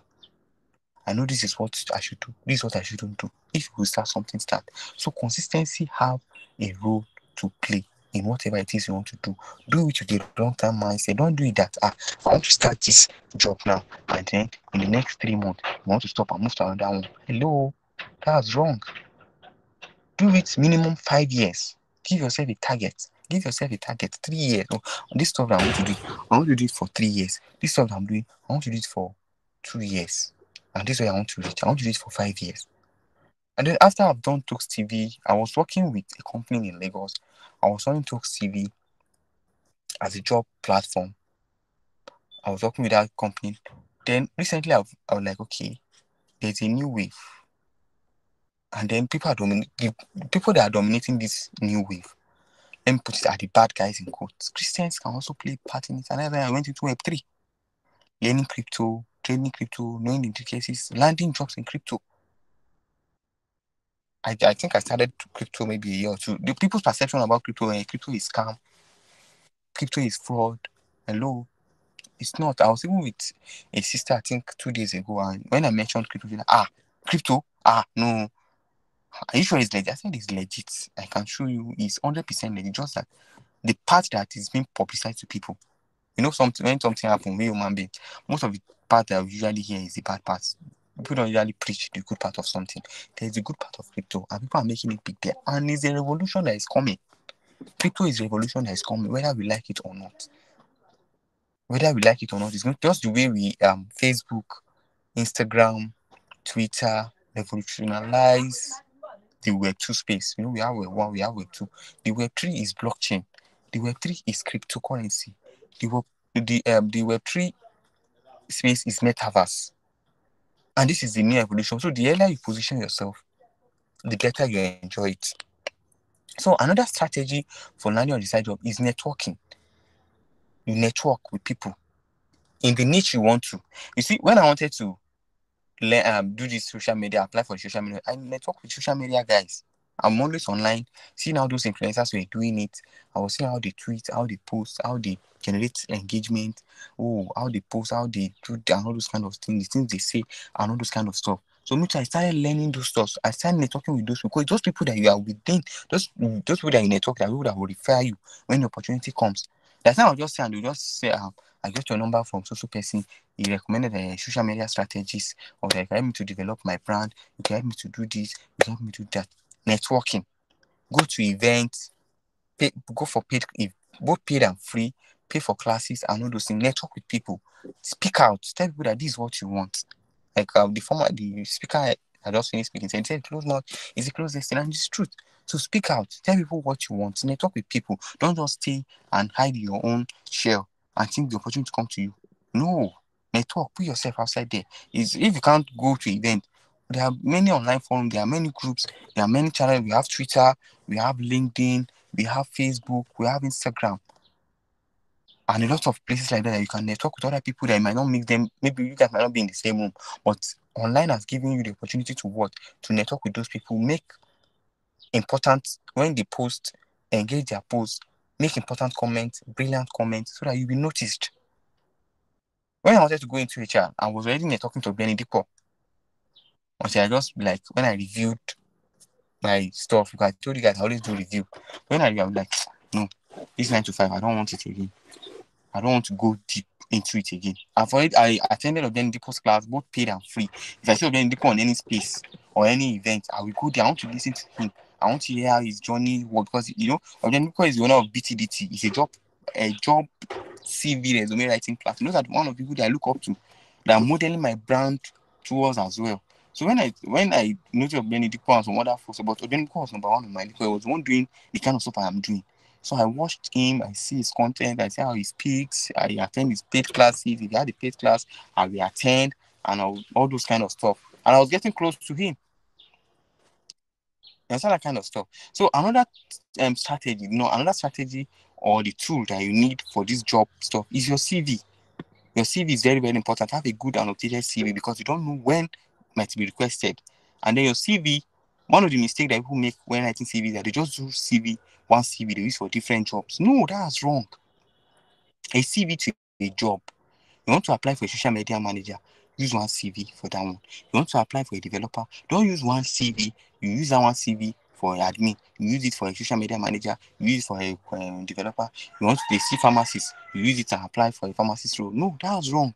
A CV, and this is the reason why you should tailor your CV towards it. You see, the skills and responsibilities that is required of a developer or a digital marketer or a manager or a admin officer, the skills and responsibilities are different, totally different. So you can't expect that. I usually give you this example. Okay, just imagine that two people are looking for jobs. Now you are the HR. The first person, maybe the job role is uh maybe digital marketer. And the first person CV is just there. The person puts everything, just put everything. Digital marketing is there, social media is there, coding is there. He shall pour everything. He shall pour everything. No keywords, nothing, nothing. He shall pour everything that any job that come out, job using the CV for. You'll be stressed out. And then there's the second person. So he saw digital marketing role and, he took his CV and he went online and he set for keywords required of a digital marketer. Even if you don't search for a keyword, if it's your niche, you know the keywords. Ability to handle this Facebook, Instagram marketing. Ability to SEO, SEM, content generation, and all those things. All those those are the keywords that you need as a as as, as that you're going to be um that they're going to use to employ as digital marketer. Now you pick those keywords and you put them inside your CV, and then you submitted it. That is the second person now. So you submitted the CV. Now we have two CVs here. One person CV is just there. Every role is there. While the second person CV is tailored towards that role. If you are the HR, who are you going to pick? Definitely you are going to pick the second person because that person CV mirrors the what you want. And if you don't know the keywords to use at time when you're writing for a CV, pick the job description check the skills that they said, okay, this person must know how to do this, he must know how to do A, he must know how to pick those things and insert them into the CV that you're writing. The responsibility, look at the responsibility, relate it to what you've done, and then edit it and make it be tailored to the responsibility of what you have done in your previous place of work or what you have helped your client to do. Basically, make sure your CV is tailored. Daba, when I applied for Daba, I only applied once. I was picked. There are other jobs too that I've applied. I didn't know I didn't I, I didn't um I, I, like, I didn't follow through. So when you see a job, make sure your CV is what tailored towards that job. And there are two kind of CV. You see, the CV that you use for a job is different from the one that you use for academic. You can't use it because that job, that CV for the job is different. Is a is a job CV. Academic CV is academic based. Is academic based right? It, it, it the CV job for the job uh, academic CV, for instance, if you have your CGPA, if you have your project, if you have the courses, if you have maybe you have uh, maybe you have published a a content before or project or all those things or volunteer and all those things. It will be in your, uh, your academic CV. For the job CV, you don't need to know the course you want, you studied. You have no business with the, your project topic in the job CV. There's no what they want is your experience, the skills, and then how well you are able to sell yourself in the profile summary. Right? How well you are able to sell yourself as well. So make sure your CV is always tailored for the job. Because if you're using one CV for all the job, you'll be stressed out. You'll be stressed because you will not get a reply. Always remember that the best person always wins. So position yourself very, very well when you're applying for job. Don't apply for all the jobs. You, you get tired. Make sure that the job that you're applying for is a job that yes, you can tailor your CV to us and will mirror that role exactly. Because some companies, some big companies, when they are when they are recruiting, like big four companies now, it's not human being that screen those CV. They have a software that we call ATS, applicant tracking system. If your CV doesn't contain the keywords that that company is looking for, in your if your CV doesn't contain those keywords, your CV will not even get to the HR. The software will screen it out. I've written a lot of CVs for, for people that apply for Big Fours, Deloitte, P&G, uh, Shell, Oando, and all those companies like that. So you tailor your CV and look at the keyword. What the company said, okay, they're looking for a human resource. You must have a, you must be able to, um, you must have payroll skills, how to calculate payroll, uh, payroll, conflict management, admin, and all those things like that. Microsoft Office, leadership skills, and all those things like that. They will be, they will set it there. So pick those skills, everything put it in your CV. Don't just put it anyhow. There's how you, you understand. Put it strategically in such a way that when your CV goes through the applicant tracking system, if you pick your CV, will pick, and the applicant tracking system will pick those keywords. If the keywords match what is in the applicant tracking system, that is that software that the company is using, your CV will pass to the second stage of what the application, and then you'll be called for interview. And when you get to interview as well, sell yourself very well.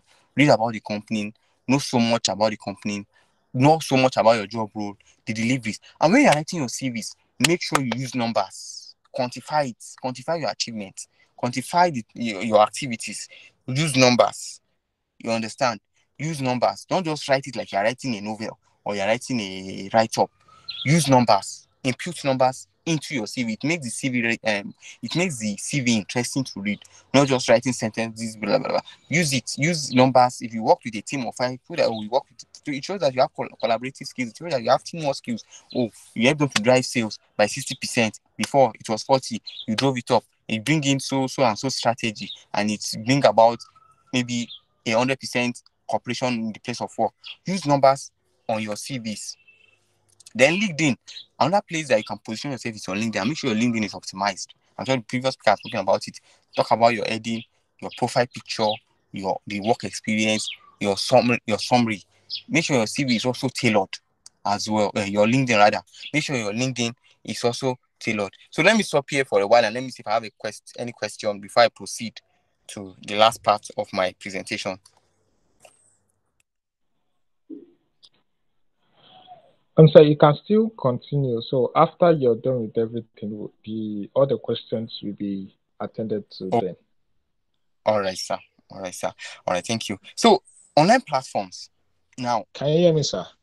Yes, sir. Yes, sir. Yes, sir. Yes, sir. Thank you, sir. So online platform. what is online platform? Um, well, one of the things that sells online is your branding. How you position yourself. What do people know you for?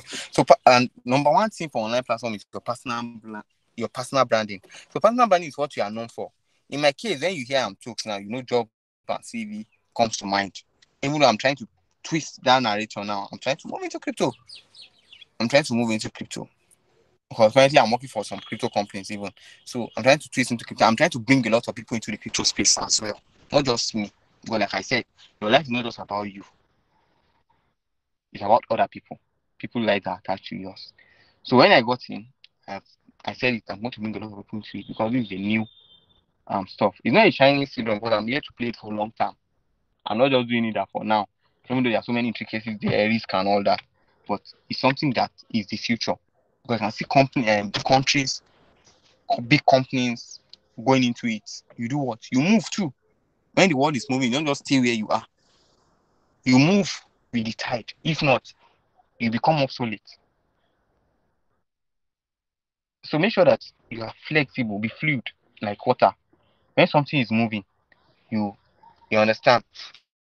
So personal brand is about your content, not pick packaging or picking it taking it to make it because you'll be tested. So make sure you have content as well in your branding. So you'll be tested and you be, you need to show results or evidence. If not, you keep explaining. So make sure you have enough evidence, work, show, and all that. Then online platform, another of branding is your niche. Niche down. Don't just do everything.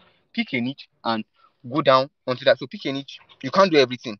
Be known for one thing, right? Then diversify. Then another thing is my third point for online platform is sales and marketing. Don't sell yourself short. Sell yourself well, sell value and results. You have sell the value and results you have achieved on your journey. People are interested in what in what you have done, the mountains you have moved, and all that. Sell yourself well. Sell yourself because whether I like it or not, you are selling yourself online. You are selling what you are doing. So position yourself. That personal brand is very important. Every people be know have a very good profile picture, your content, what you dish out, and all those stuff. Let it be something that people can relate with, and then let people know you for good stuff. Most importantly, so choice of platform. Pick a pick a platform and build there. For me, I pick WhatsApp and Twitter. Pick a what's a platform, and your the platform should be platform that that will strengthen you. You understand? That will put um how would I put it? That will put your content out there. For instance, if it's if you're if you are someone that like doing video, right? You should be on TikTok, YouTube, and Instagram. If it's writing, Twitter, LinkedIn, Facebook, Medium, Mirror, writing. Those are the writing platforms. Twitter, for instance, pay people now to develop content. When you write and your writing is very, you write very well and you generate a lot of comment. At the end of the month, Twitter will pay you. You see? So pick a platform that goes along. Just put, even if you don't have audience yet, keep putting out your content. Consistency with time you'll be noticed and what people will follow you. There are people that want what you have. There are people that want to buy what you're selling. There are people that want the content that you have that you're dishing out.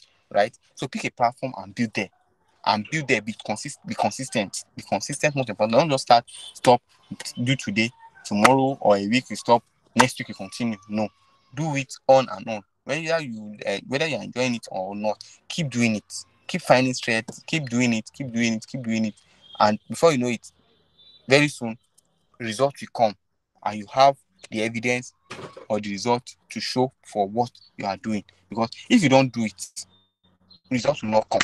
If you don't do it you don't have evidence. You understand that kind of stuff. So another platform where uh, some platforms where let me just mention this the platform where you can get jobs include linkedin twitter upwork indeed.com jora and seek. You see these jora and seek they are most of most of the companies they are international companies. Indeed.com, we have Indeed for Nigeria, we have for UK, US. Um, Upwork to international companies, although that one is everywhere. We have international companies, we have Nigerian companies on Upwork as well. Twitter, networking, and all that too. And then LinkedIn, optimization, and like the previous speaker just spoke, you network, engage people's content, and all those kind of stuff. So thank you very much. I think I am done now. Thank you.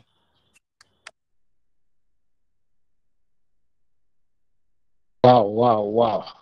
Um, thank you so much, sir. Can we celebrate him? Can we just celebrate him? Drop the emoji, celebrate him. Can we say thank you so much, sir, for the enlightenment? Thank you so much, sir. Okay, so even in the comment section, you can drop.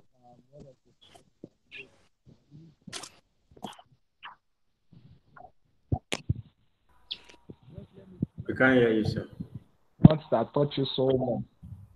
Okay, can you hear me, sir? I hope you can hear me now. Yes, we can hear you now.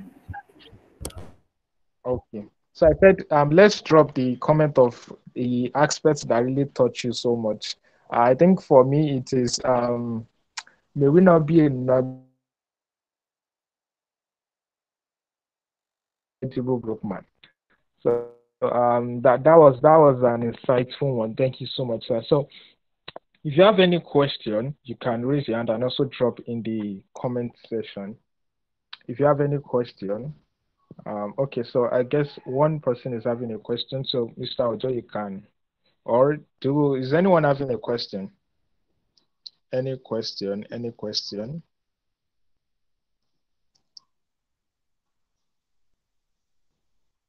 Any question? Okay. So, uh, Mr. Aregbeshola, you can you can unmute your mic. Uh, uh, good morning, sir. Please, I wanted to ask the last thing you said when you were listing the job, the places you can get job offers from. After you said Twitter and Indeed and LinkedIn, you said something like dollar. I didn't really get whether it's dollar you said or something. No, it's Jora. No, it's Jora. J O R. A. Okay, Jora. Yes. All we right, have, all right, we have, Thank we have, so much. we have Seek. All this stuff they have. All this stuff they have their app on Play Store. Seek. S E E K.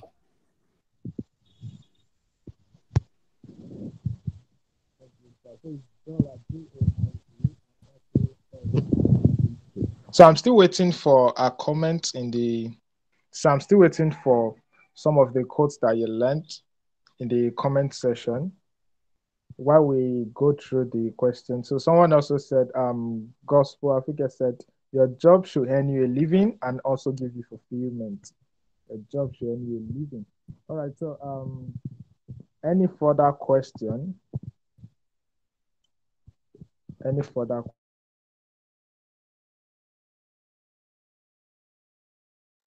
question? Do you have any other question? Okay. In the absence of men, can we celebrate our Musa? We actually can't hear your voice. I don't know what's wrong with your audio. Can we hear me? Is it clear now? It's not clear actually. Wow. Okay, is it better now? Yeah, it's better. Okay. So I'm asking, do anyone have any other question? I think somebody is Okay, raising. Mighty, you can unmute your mic and ask. Okay. Yeah, thank you so much, Mr. Bukumbo. And integrating your, your knowledge in Web 2 into the Web 3 markets and, you know, performing some transactions on the cryptocurrency, on cryptocurrency and, you know, the blockchain entirely. And uh, I, I believe you would agree with me that, you know, we are currently in the bear market and uh, it is very rare to, currently, you know, it's very rare to see projects that, you know, are ready to add liquidity to the market. I mean, even those who are trading futures and um, doing all sort of things on the cryptocurrency market, you know, everything is kind of silent right now. So, what would you advise, you know, someone to do, you know, for someone who does not trade, and um, what other opportunities are there, you know, in the Web three space currently in this bear market, you know, opportunities that will benefit people in this bear market apart from trading. All right. Thank you for that question. So, uh, yeah, we are in bear market and everywhere is silent. There's no liquidity and even the engagement is down. So one of the things I can do in this period is to look for jobs. There are still com- are still projects that are still building, and they're looking for ambassadors, and they'll pay you some dollars at the end of the month, or they pay in their tokens. And number two, another thing I can do after, aside from looking for jobs, but most importantly, look for jobs so that that job will be able to provide you with liquidity for you to invest when the bull market comes.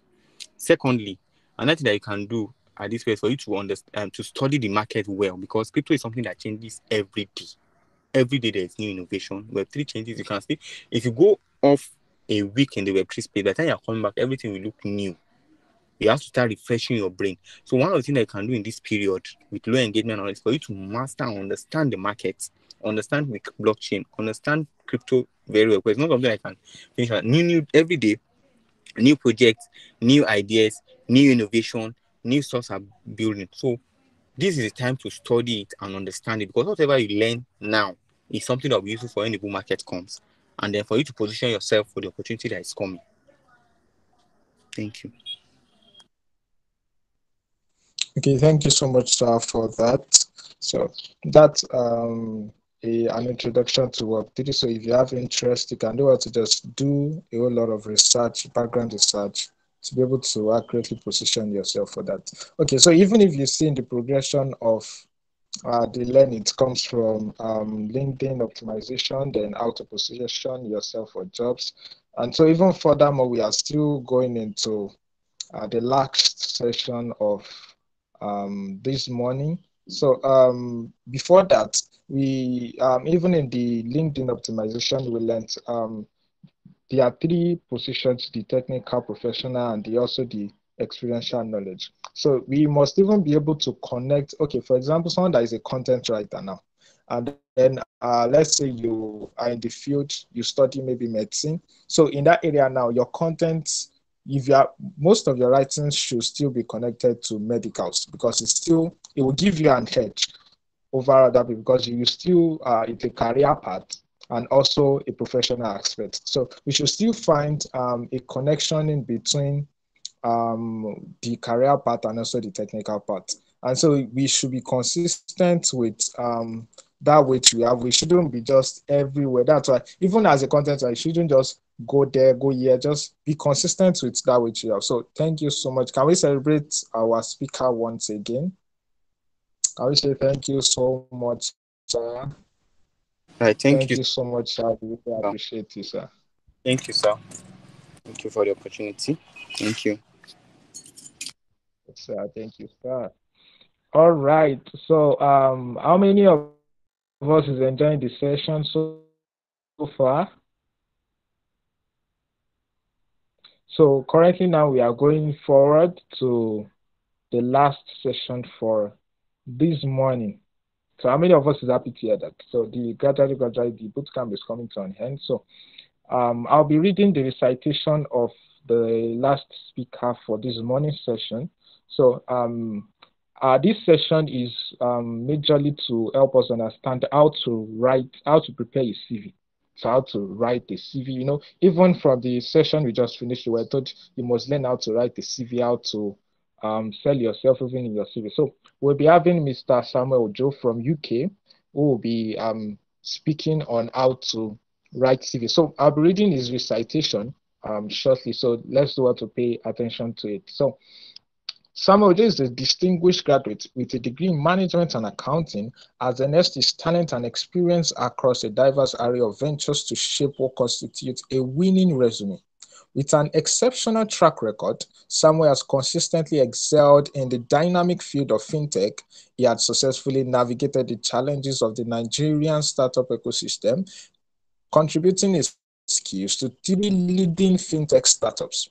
Presently, Samuel holds the esteemed role of a commercial finance analyst within a multinational enterprise situated in the United Kingdom.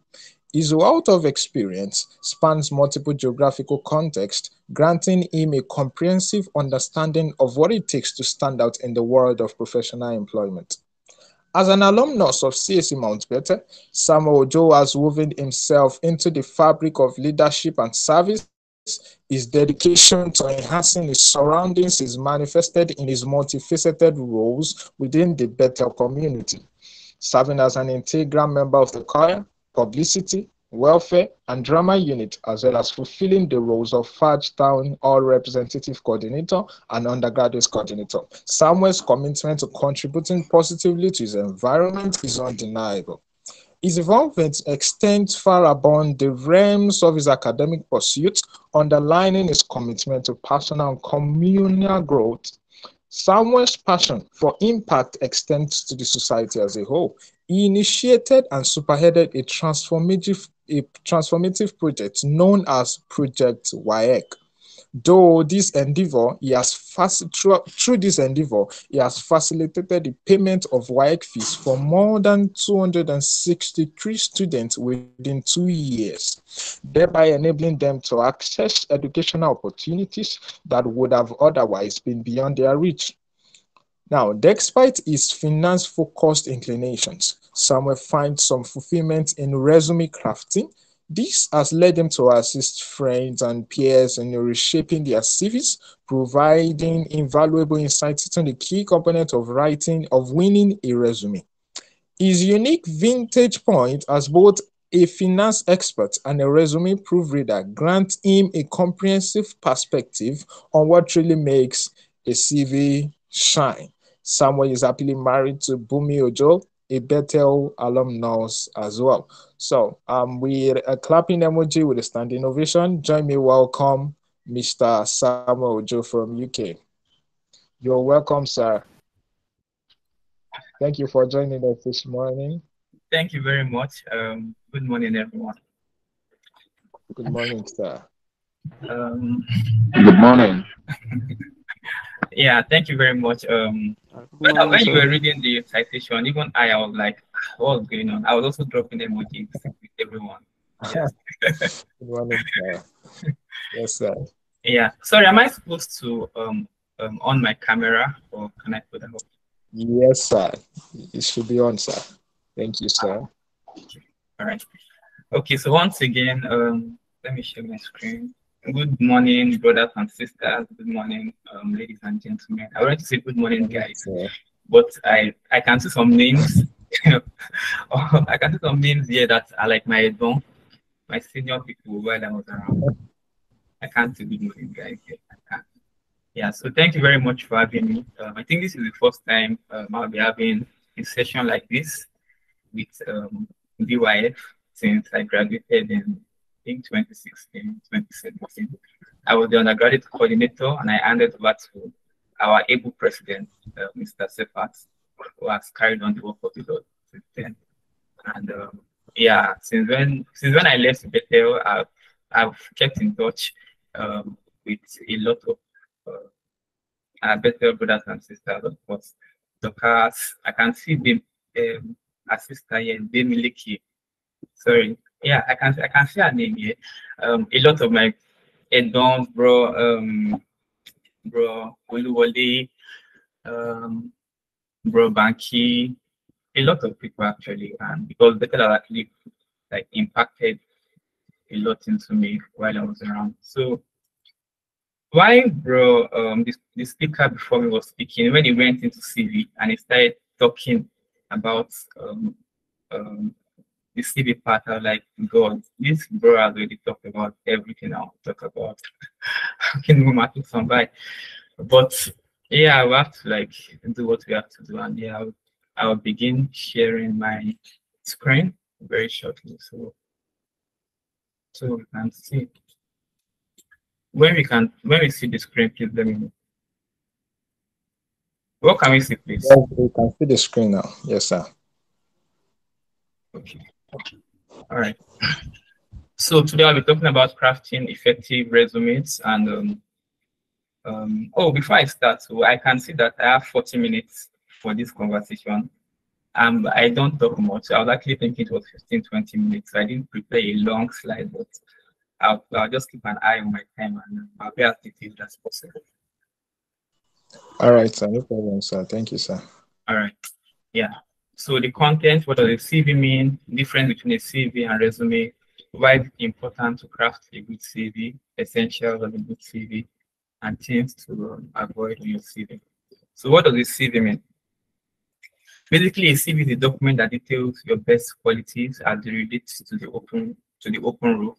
So just um, a document that shows who you are, what you've done, what you have, what you offer, what you bring to the table, as it relates um, to the particular role that was advertised or that you're applying for.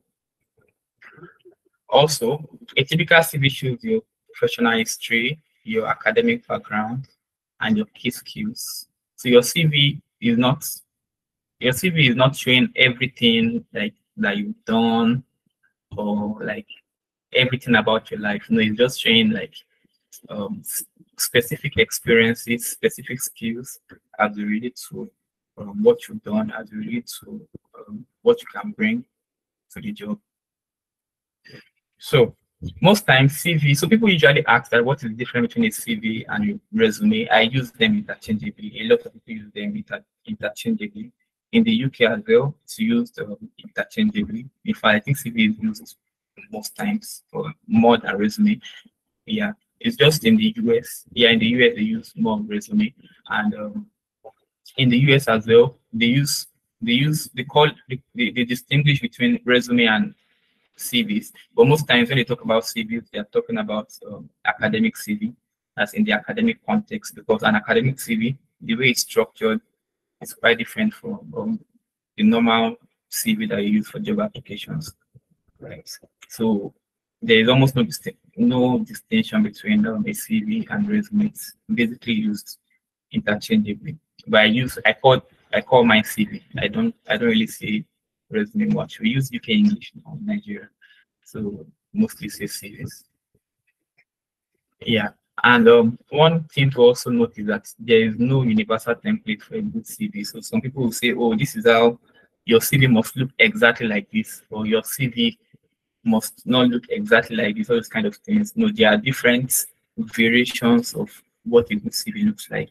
Some people will put, we arrange their CV as um, their personal information first, their skills, their experience, and um, their hobbies.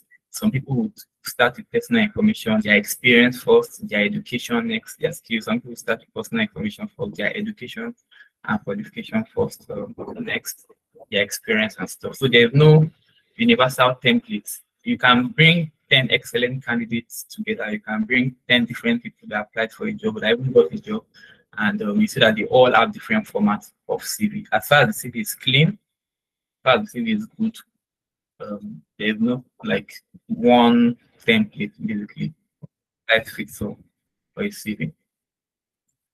All right, so why is it important um, to have a good CV? So one of the major reasons why we need to have a good CV is first impression. You know, the IR, the hiring manager or the recruiter does not know you they only know you from what. I'm sorry. I'm sorry to cut you off, sir. Your slide is not moving. Like it's Oh. not changing. Oh, are you serious? Wow. Um, let me see what I can do. Yes, sir. It's changed now. What can you see? What can you currently see? Can you let me know? Why is it important to have a good CV? And it, okay, you said it's not moving. Oh, okay. No, it just moved, but you stopped sharing now. Okay, hold on, please. Let me let me do this again. It could be network. Or let, maybe I should even share my entire screen safe. I think that'll probably do the trick.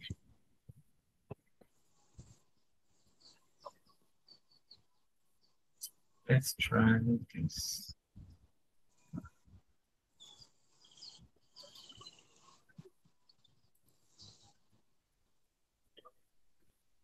Can we see my screen now? Yes, sir. Is it moving? Yes, sir. It's moving, sir. All right, thank you very much. Okay, so why is it important to um, have a good CV? So, like I was saying, um, your CV is the first impression that any hiring manager or any recruiter or any team lead will have of you. So it's very important to like have a first a good first impression because if you have a shabby CV, it tells a lot on the kind of person you are. It also means you're probably a shabby person. If you can't put in a lot of work and detail into crafting a good CV, it also means that you are probably not um, you're not you're not ready to like do the work of when you get the job. So, so that is one of the reasons why like having a CV to create a first impression.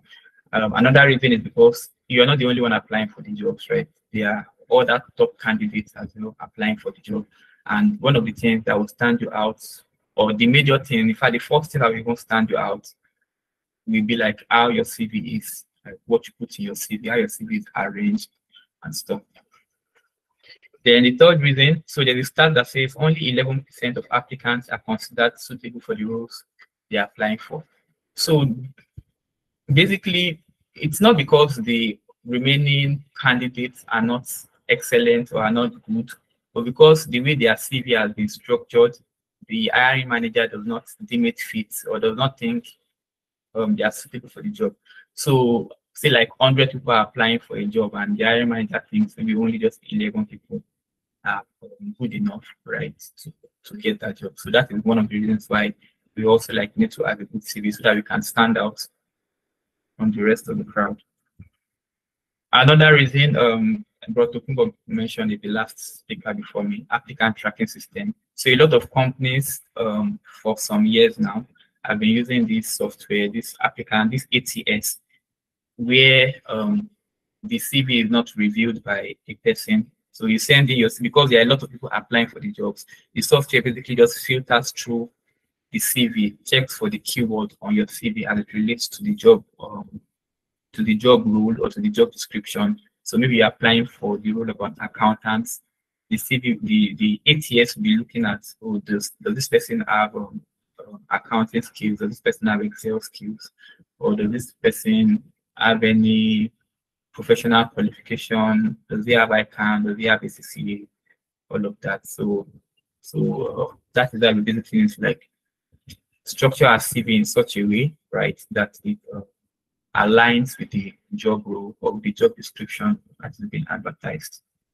Then the last one, industry research states that on average, recruiters spend six to eight seconds looking at your CV. So um, if you have a shabby CV, if your CV is not properly structured or not properly arranged, a recruiter will just basically, they just glance through it, okay, what is on this document? And if what is there, if it doesn't catch their eye, if it doesn't catch their fancy within six seconds, within eight seconds, they just throw it in the bin or they just like move it out of their face and go to the next thing. That is why it's like very important for us to like um, present a good document or a good CV when we're applying for different um, job roles or different applications. Okay, essentials of a good CV. Um, basically, this this is basically um, what a good CV should contain, or some of the important things, details that a good CV should have. So the first one is your personal information. So a good CV, if that should be the first thing, a personal information basically is your name, your address, your email, um, your phone number, and maybe your like LinkedIn address.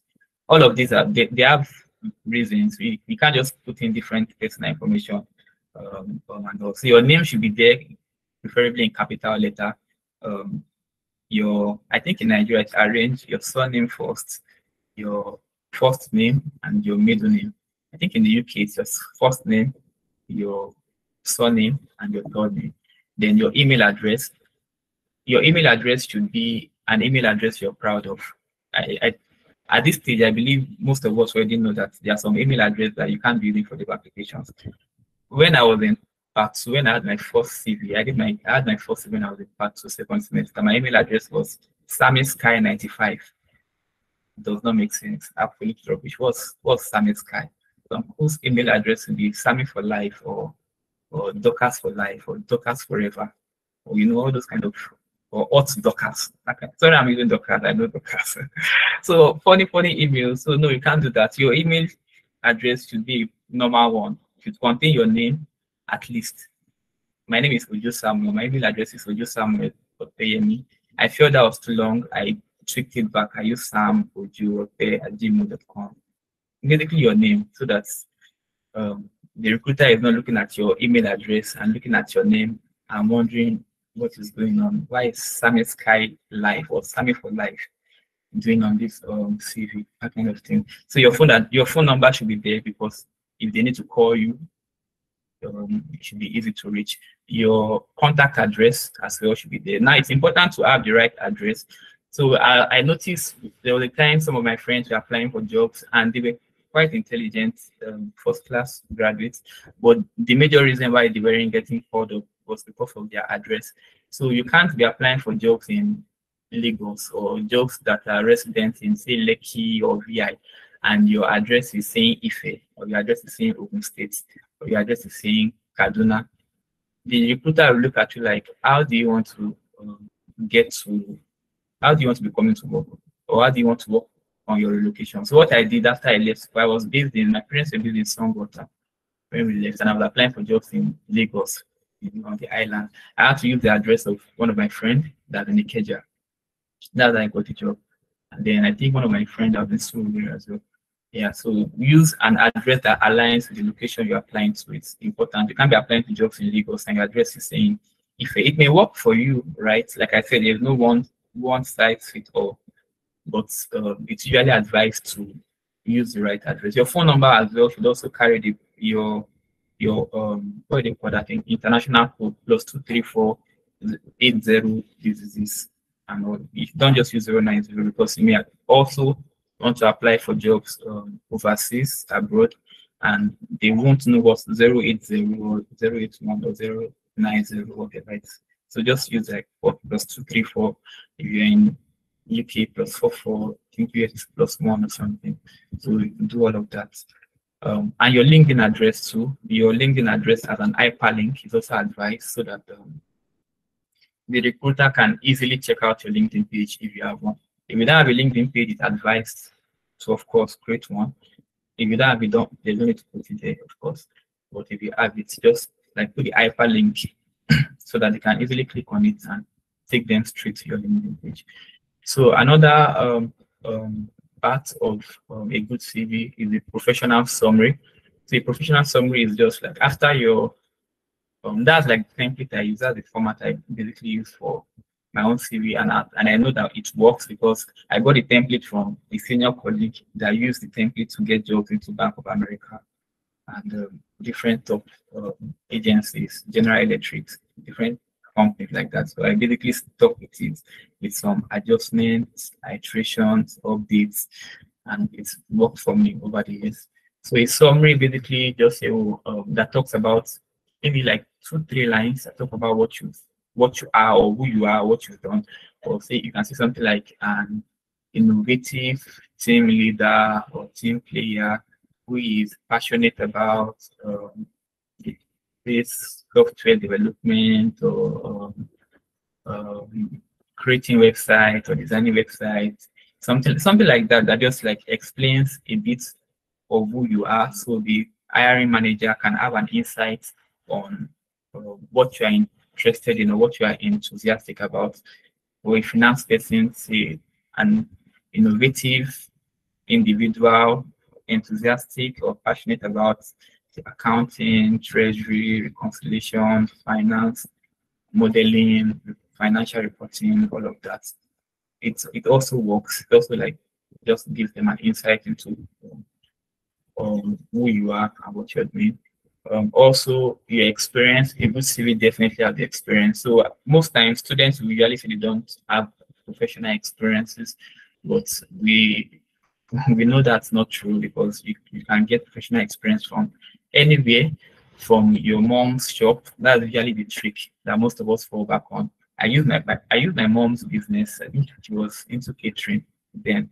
I called myself a business development analyst. And what was my what was my role then? I think I said I was marketing, doing marketing for her. I was preparing her books, and I was giving her like business insights. Just package it. My mom does not have a business name, but I called her business Sarah Catering Services. Even she does not know what that is because she's never heard of that before. Well, it, it, I mean, it has to like sound like a business thing, and you have to like package it in a way that um, that makes sense to the person reading it. Don't exaggerate it, of course because they know that this person is lying and that won't be good but just like you have experiences in professional um, organizations you belong to in school right even if you if you work in Bethel that's also an experience that you can definitely put that um, on your CV um, your education and your qualifications and also your trainings should also be on your CV because um, as it aligns to the role, of course, to your education. So for students now that don't have much professional experience, they usually like invest more in this education part. So just your secondary school and, your university. Yeah, secondary school university, or just your university is okay. When I when I was in school, because I didn't have experience, I put in my university, I put in the courses I did because if I'm applying for an accounting role, I need to show that I did some accounting courses. So I put in stuff like I did courses like um, financial reporting, econometrics, um, statistics, yeah, statistics, and a lot of governance, risk, compliance, all of that. I put all of that in. The courses I was also doing in my ICAN, put all of that in my qualifications. I put the fact that um, I'm. I was writing my ICAN exam, ACA in view. That was the trick we used then, and it works. It works. Yeah. Then um, your skills. So this is very important, very very important because a lot of us actually um, um, downplay this part. But if your CV is going to be going through an applicant tracking system, it's going to be looking out for all of these things. So if you skills like say proficient in okay we're not proficient because let's not lie as students a lot of us are not proficient and nobody expects to be proficient.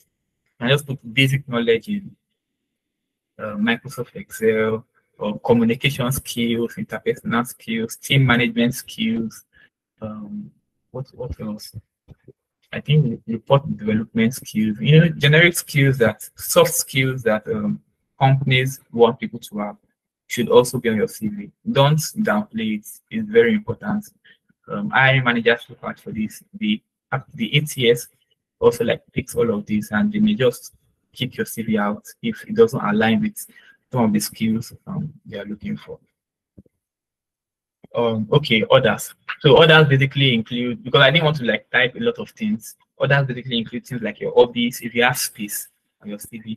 Hobbies. So careful about the obvious you put on your CV. You Don't just put, some people gonna write, like playing Sui or like playing Tete or skipping, you know, obvious, obvious that that don't like create curiosity in the mind of the, the recruiter. So put obvious that make sense, researching skills. I mean, that makes sense. Put researching skills, put even playing football or watching football is actually an hobby. If you can talk about it, of course. Some people put reading please don't put reading if, if reading is not your hobby because you cannot put reading now your recruiter says, Oh, you read books. What type of books do you read? And you start saying Ali and Sim. I mean, it doesn't make any sense. So put hobbies that um, that you can talk about. So, like I said, the the the, the um, my senior colleague that that actually um, helped me with my CV while I was in part two, in his final Bank of um, America's interview that he had, think the interview was about 20 minutes. After introducing himself to the interviewer, a white guy, obviously, talking about himself, his skills, and the guy just went to his hobby and said, Oh, you're a Manchester United fan. And they basically just started talking about Manchester United for the for like the major part of the interview. And that was one of the reasons I got the job. The guy just liked him. Of course, there's a place of favor as well. You know, that was just favor. That's people. Of course, the guy is intelligent, he's smart, right? But when the interview the interviewer leaves like the technical areas of what we should be talking about, and you are able to like draw them into what you want them to be talking about, it's also a skill that uh, can also be properly managed. So put skill. Imagine the guy puts like the Man U fan, and he does not know anything about Man U. He does not even watch football. How does he want to defend that? Like they will basically throw him out of the interview. So hobbies, your references as well, if you have space, all of these things if you have space. I have my reference my CV currently, but but um, when I started out after I left school, I had references, but I didn't put the names of my reference. I just put um, um what was that thing always put um, references available on request, so that if you need referees if you need reference, then you can always go back to them. Your referees could be your lecturers, could be um, um anyone, anyone that is working that put in a good work for you or a, good a good word for you. So your hobbies, your interests, your um um what hobbies, interests, your referees, your volunteer experience as well. Yeah, what yeah, volunteer experience is actually very important too. Because if you belong to say like um, volunteer organizations like AIESEC, like JCI on campus, it's actually very important or recommended to like put all of that on your CV, like Red Cross, because your interviewer may also be someone from that um, belongs to one of those organizations, and that will basically be the edge that um, will stand you out from other candidates. It worked for me. I belonged to AIESEC when I was in school. And I think the second job I got, the guy was an AIESEC. And he's like, oh, AIESEC, hey, AIESEC. I said, I think what's up or something. And I was like, yeah. And I got the job like that. It's not because it's not because it's not like I was incompetent. Of course, my CV made sense too. But basically because I belong to AIESEC and it was able to like see one or two things that I did with AIESEC. It was able to like um, give me the job. So all of all of those subtle subtle things they uh, also work as well. Um, things to avoid on your CV, excessive personal information. I think I'm running behind time now, so I'll try and like brush this off. Excessive personal information. So some people put things like their gender, their age, their local government, um, um, yeah, gender, age, local government, primary school, you know, on their CV and all of that. Nobody really cares about all of those information. Nobody cares about the primary school you went to or your gender or your age. In fact, in fact, it could even work against you because the age requirement for the job may just be maybe between 20, 22 to 27 or something. And you are putting that you are 28, 29 years, when nobody asks you, that automatically disqualifies you and it creates some sort of bias. Your state of origin, nobody cares about your state of origin. It creates some bias. You don't need to put that on your CV. Yeah, things to avoid a lengthy CV. As a student, you should probably you probably have one page CV, or as a fresh graduate, you should probably have a CV. Most advanced CV. Even people with multiple multiple years of experience, I say them with say two pages two pages CV or maybe max three pages. But at, at standard um, page of CV is usually one to two page. Don't have a length page CV, usually in Word or PDF format. I use PDF format, but Word format is also accepted by the ATS um, software. So I, recommend PDF format. Inconsistent font and spacing.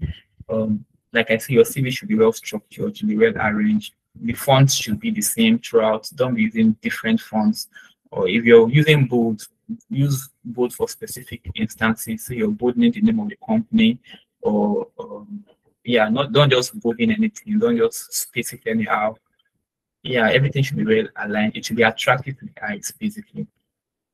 Put put the dates of your um, of your experiences. So if you work in a place between January to June 2022, put it there so they know the period of like the period you work there lack of details that match the role. So the previous speaker also spoke on this. You can't be applying for um, a software development role and you're using an accounting CV. You're talking about ICAN, you're talking about financial reporting. They, they, they will probably pick out or pick up other CVs that match that role. So make sure that if what I if I what I even advise people do is look at the job description, look at the skills, look at some of what is on the job roles, see if you have all of those skills and try and structure that into your CV. So what I do, I have a general CV that contains all of my skills and all of that. Then I have specific CVs that I also use to apply for. If I say that, oh, I like this role and I really want to get it through, I structure my CV in a way that the skills on that job description, on that ad, I put it in my CV.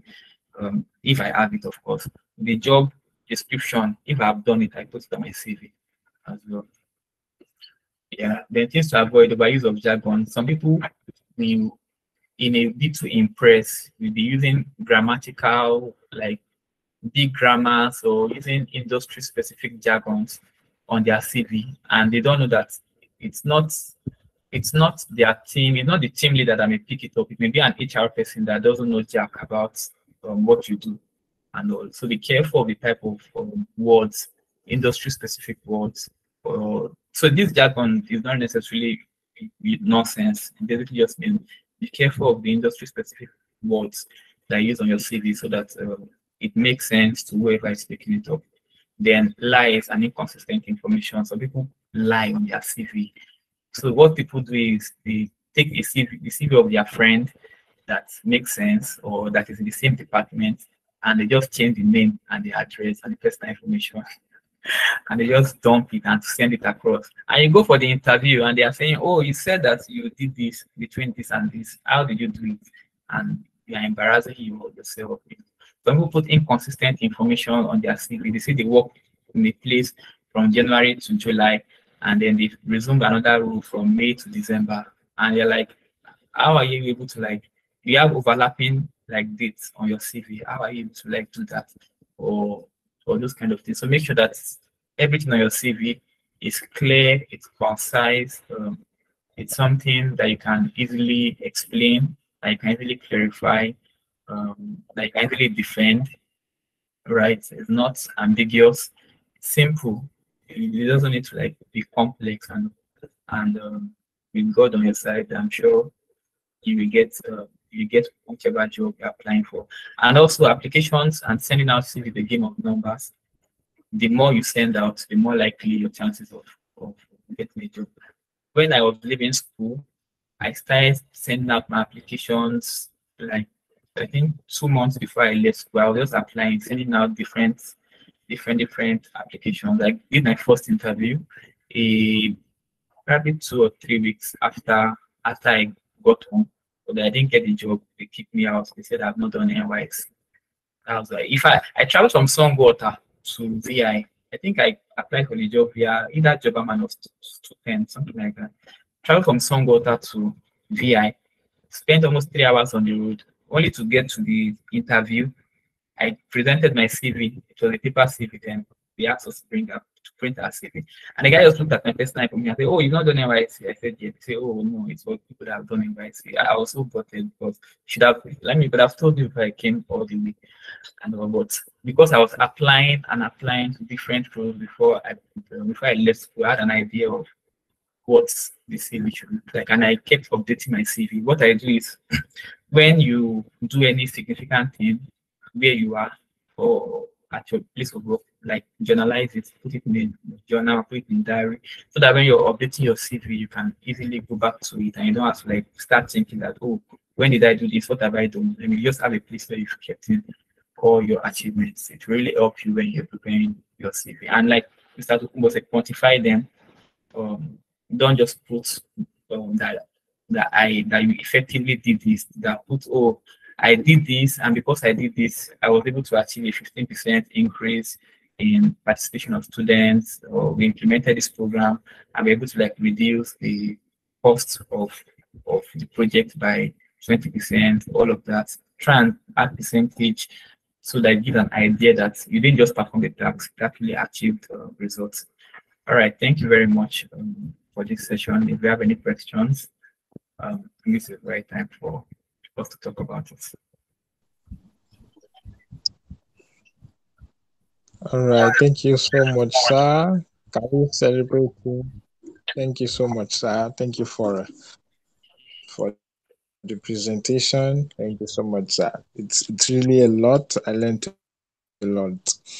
All right. Um, do we have anyone that has a question? Just go to raise your hand. Okay, I think I'm seeing a question in the comment section. So um, there are a couple of questions here. So one, the first question says, okay, I guess you've answered the first question, is how many pages should the CV look like? So the CV have. So the other question is, can you show us like an outlook of a written CV? Okay, that has been answered too.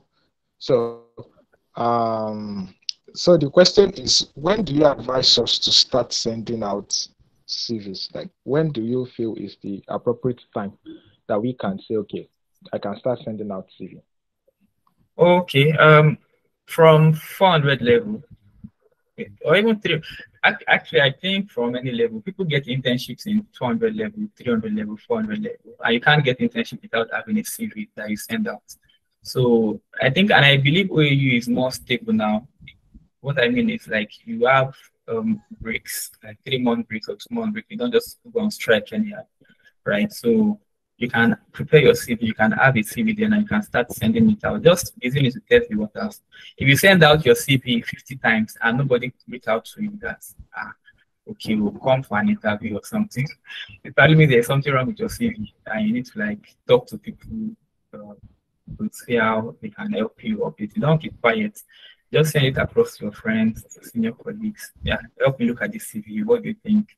The CV that you think is gang, you'll be surprised that it's very ordinary. And, and CV is not about, you don't have to be the best student, you don't have to be the first class to have an outstanding CV.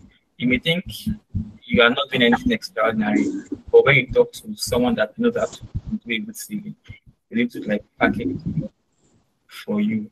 I mean, you have time, I can show you the CV I had when I was in when I was in 400 level, and my CV now just a glimpse, and you see that. Please, we would love that you do that, sir.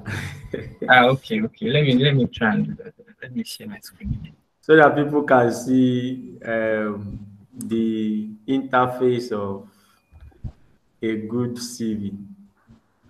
Okay. All right. So this is okay. So so this is my CV Wow. when I was in four. No, not when I was in 400 level. When I just um left school. So okay, yeah, because this is July 2017 to present. So I'm guessing this present is maybe November 2017 also. So you can see this is a typical example of an horrible CV because um, you can see that the font, the spacing here is horrible. You can see that this does not align. You can see that here I'm putting month and year. I mean, yeah, month and year. And this place, I'm just, I didn't add the month. What else? My LinkedIn profile is not here. Okay, I even tried safe. I still put plus two, three, four. My, my, yeah, my email address was better. And so I'm casting myself, but I believe we are brothers and sisters. So this, yes. right. So um, this was what I did in was the general manager of Bureau of Management. This is basically called Bureau of Management, but I package it. I call it Student Professional Bureau of Management. And I strategize with the CEO. I mean, if you're a recruiter and you see this kind of thing, I successfully organize and synergize, blah, blah, blah. It's a bad CV, like I say. The spacing here is horrible, but at least I tried. I tried to put some skills, excellent verbal written basic target in this.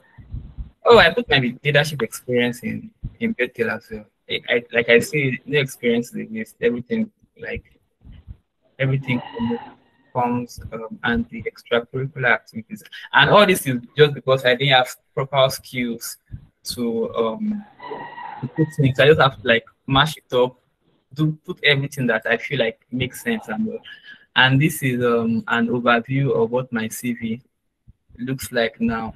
So my name is here, my um, location, my phone number, my email, my LinkedIn, professional experience, my skills. Some of my skills are here.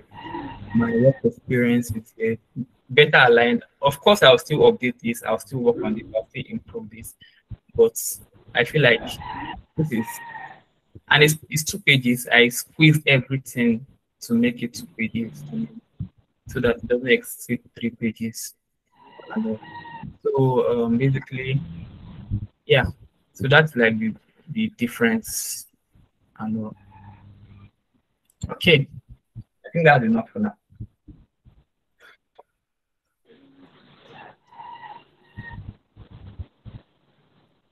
Oh, I can see a question from Clement that says, "What about person that just has secondary school certificate? How can such person write CV?" Your secondary school your your secondary school, you can add um, the name of your secondary school there, prefect as well. Of course, add that. If you add plenty A's and B's in your like, see like you have five A's and four B's, it shows that you're an intelligent student. You can add that. Um, I think that should be it. The rest should be what you did in university. Secondary school is not really significant. So if you, but if you're a prefect in your secondary school, if you have like good like like plenty A's and B's, especially maybe the courses that relate to what you're doing, A in mathematics or A in accounting or something. It would also like be relevant or common.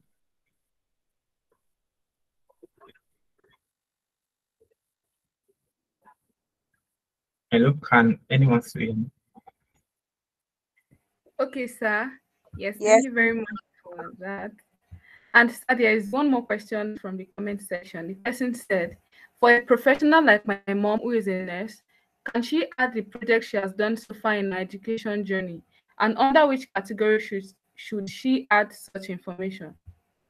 Um, yeah, of course. If if she has done a lot of um, projects that relates to what she's doing, can be part of her work experience, right? Work experience. Um, you executed social projects that helped in what did you do in reducing um, the mortality you call it by 10% or by 15%, or yeah, it, it should be relevant. Or you can even have a section for if it's if the projects are a lot, you can even have a section for projects um, executed or even achievements. Yeah, a recruiter advised me to even add achievements to my like as a separate category. The way you have experience, education, and stuff. If you have like significant achievements, if you're on the first class, 4.8 over 5 or 4.65 over 5, you add that. If you won a scholarship, you add that. If you did significant project that you feel like should be spotlighted, like should be brought to the front, you add that and all of that like make up for what a good should look like. Please don't put your marital status on your CV. Like nobody needs that information. okay, thank you very much, sir. I can see one more question. The person said, "Is there a way to check? Is there a way we can check if our CV would successfully pass the ATS?" Yes, I believe so. Yes, I think there are um, softwares that I don't know if they are free actually, but I've seen some softwares that um, help you to check how your CV would score on an applicant tracking system or an ATS, basically. But the best way to do that is just check the job. If you want to do it, just like you do copy, copy and paste, the recruiter, it will pass the ATS check, right? But when it gets to the recruiter, the person that is going to go through it, they'll be like, this person just copied and pasted all the requirements for this job. When you put skills, um, they are looking for someone that is good in Microsoft Word. Or yeah, that is good in Microsoft, good basic knowledge or good knowledge or so if I don't know a skill very well, I just use basic knowledge or good knowledge so that they will not say, okay, I, like I just know something. Like I can basically go to YouTube and brush up my knowledge. But if I know a skill very well, I put proficient and I put advanced knowledge, that kind of thing. So if you don't know a skill very well and you see that it's part of the job or you're interested in learning it, or you feel like you're going to learn it, just good knowledge of this skill or basic knowledge of this skill. So the ATS probably we, we will read it that okay, this is on this person's CV, and it will pass that check. Then when you get to the HR, you can after explain that oh, I'm doing a training in this skill or in this course and um, or I know one or two things on this thing. I'm interested in this in this thing, but at least you pass that test. But if you don't add it because you don't know that skill, your CV will not even you won't even have the time to explain. It will get thrown out. It won't advance to the next stage. Okay. Thank you very much, sir. And there's one more question. Please, guys, if you have more questions, please, you can do well to notify me by raising up your hands. Okay, what's the difference between packaging and line? Ah. How can we package without line? wow, there's a thin line. I got, I try to put me on the spot here. There's a thin line between packaging and line. Ah. Okay, so packaging is you have some experience in it or you can do it. For instance, packaging is me saying that, oh, um, um, my mom's shop or my mom's business, Sarah Catering Services. Yeah, of course, she was, she's a caterer. But she doesn't have catering services, but she's a caterer. And um, I helped her with some of the figures. Not like I carried Excel, I carried calculator with her. Okay, last year, how much, how much did you make? If you do it like this, if you add this one, if you sell to this one, actually you will, you will reduce the cost now and it will increase profit, all those kind of things. I just found a way to like add it into the CV so that if a recruiter asks me, I know my mom's business, I know how to talk about it, and I just need to like find the professional way of polishing it to make sense, right? Um, um, packaging is people calling people that call tailors fashion designers. A, a tailor is a fashion designer, but we are not calling them tailor.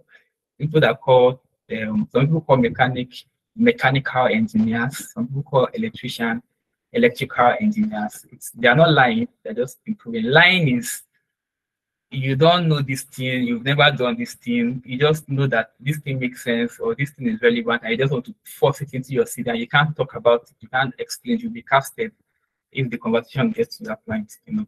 That's um, outright lying, and that's not best. Okay, thank you very much for that explanation, sir. And we have a another question. So, so um, Stephen Ojo, please, you can unmute your mic and ask your question. All right, thank you, sir.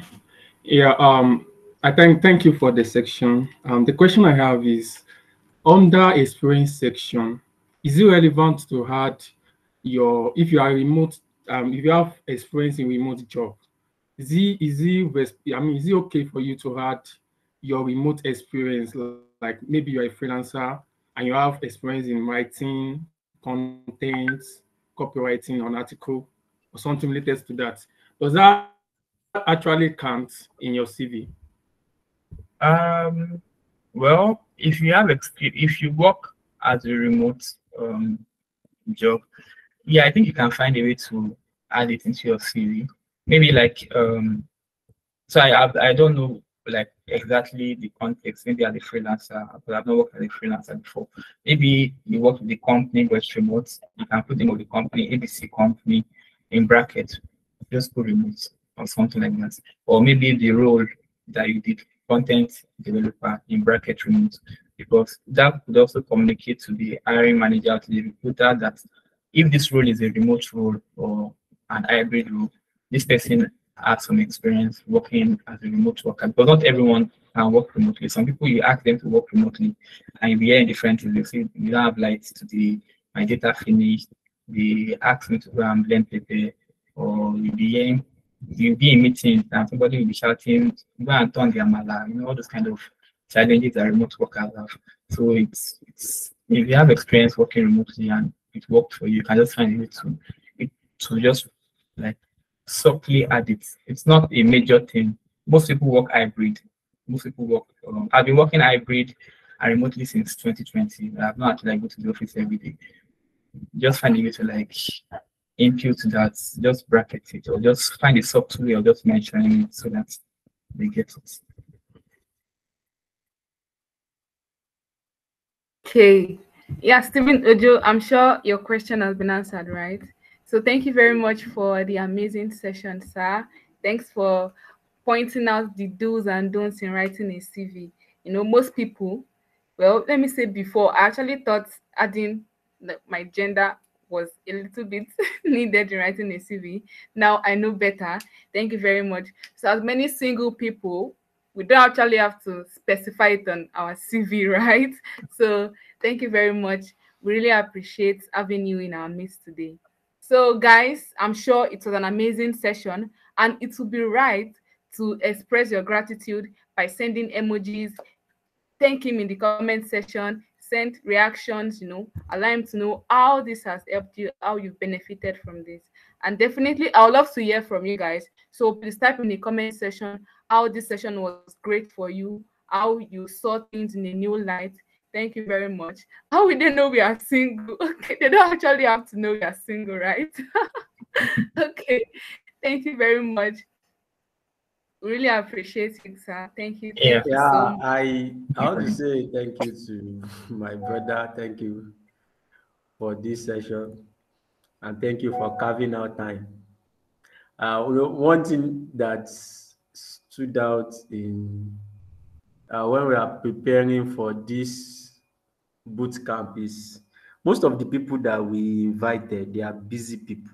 I told you that they are experienced in uh, in the skills that we want them to come and take and they are very uh, they are very busy and uh, one thing that we try to do is that god help us to do is we make sure that we fix a time that can accommodate everybody uh, because before we can find a time to slot mr samuel in before we can find a time to slot even Prof. Shitu in yesterday. It was it was actually a time. So we want to say thank you for uh, carving out time to come and talk to us today. We appreciate it. We do not take it for granted.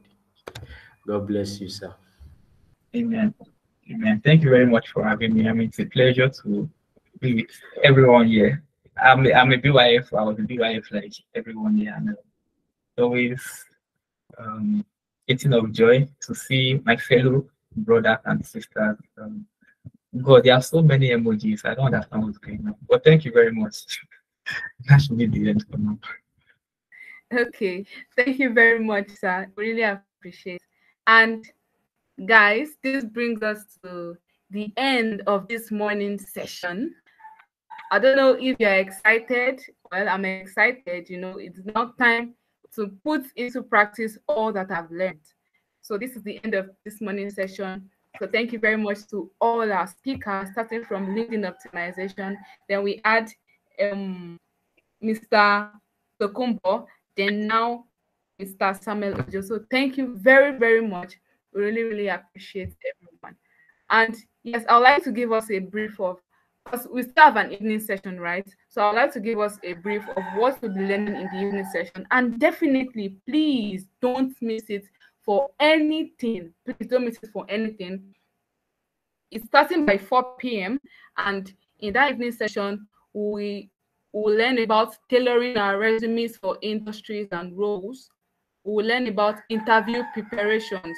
Really, we need to know how to prepare for interviews. You know, the common questions will be asked, how to answer the questions, how to position yourself properly, how to express yourself the way you really want to express yourself.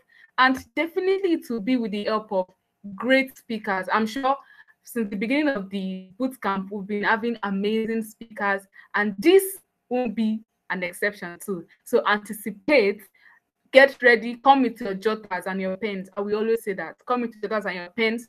Be ready to learn, be ready to implement, be ready to to put into practice all that you've learned. And I see God helping us in Jesus' name. Amen. So I hope to see you all at the evening session. And thank you all for joining. So before we go, we'd like to share the grace and call Mr. Oluwaseun to share the grace and the closing prayer. Welcome, sir. All right. Once again, I want to say thank you for everyone for coming. And uh, it is not only about just learning all this, it is also about making use of it. What's the purpose of, uh, like what the second speaker said, for you to be a knowledgeable broke man? You, you should not be a knowledgeable broke man. Let's, uh, let's let's what we have learned let's try to make use of it. Let's go out there and apply it. They works that's why we're organizing it. Yeah the knowledge works. So please let's make use of it. So let us pray. Father we bless you for this service uh, this session. We thank you for how you have helped us. We thank you because out of uh, the knowledge of the people that you have blessed that you have bring this to us we thank you for your speakers Thank you for how you are helping them.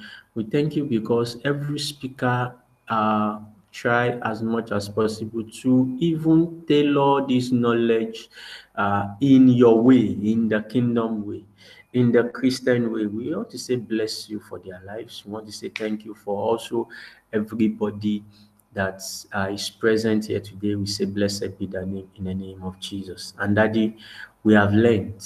We pray, oh God, that your Holy Spirit, which is the teacher of the word, will teach us more beyond what our speakers have even told us today in the name of Jesus. And Daddy, we want the grace that we'll be able to apply this in whatsoever field, whatsoever career that we have in the mighty name of Jesus. And Daddy, we want to say that as we be continuing this boot camp, we have come to the half of the whole boot camp. We have two more sessions to go that God will help us in the name of Jesus. Uh, your knowledge, your wisdom, your understanding, oh Lord, we pray, oh God, that uh, to abide with us in the name of Jesus. That it teach us to understand and it adds to our knowledge and you give us wisdom for we to be able to apply the knowledge in the name of Jesus. Thank you, Father. Blessed be the holy name our speakers that has blessed us today. We pray, God, that you bless them abundantly in the name of Jesus. Our because they are here, oh God, you cause a transformation in their lives in the name of Jesus. They have poured out their mind and themselves to us. We pray, oh God, that you pour out yourself also on them in the name of Jesus. Thank you, Father. Blessed be thou name. In Jesus' mighty name, we have prayed. Amen. Amen. Amen. Amen. Amen. Thank you very much, sir. Thank you very much, everyone, for joining this morning. So we'll see you all again by 4 p.m. Try not to be late. Thank you very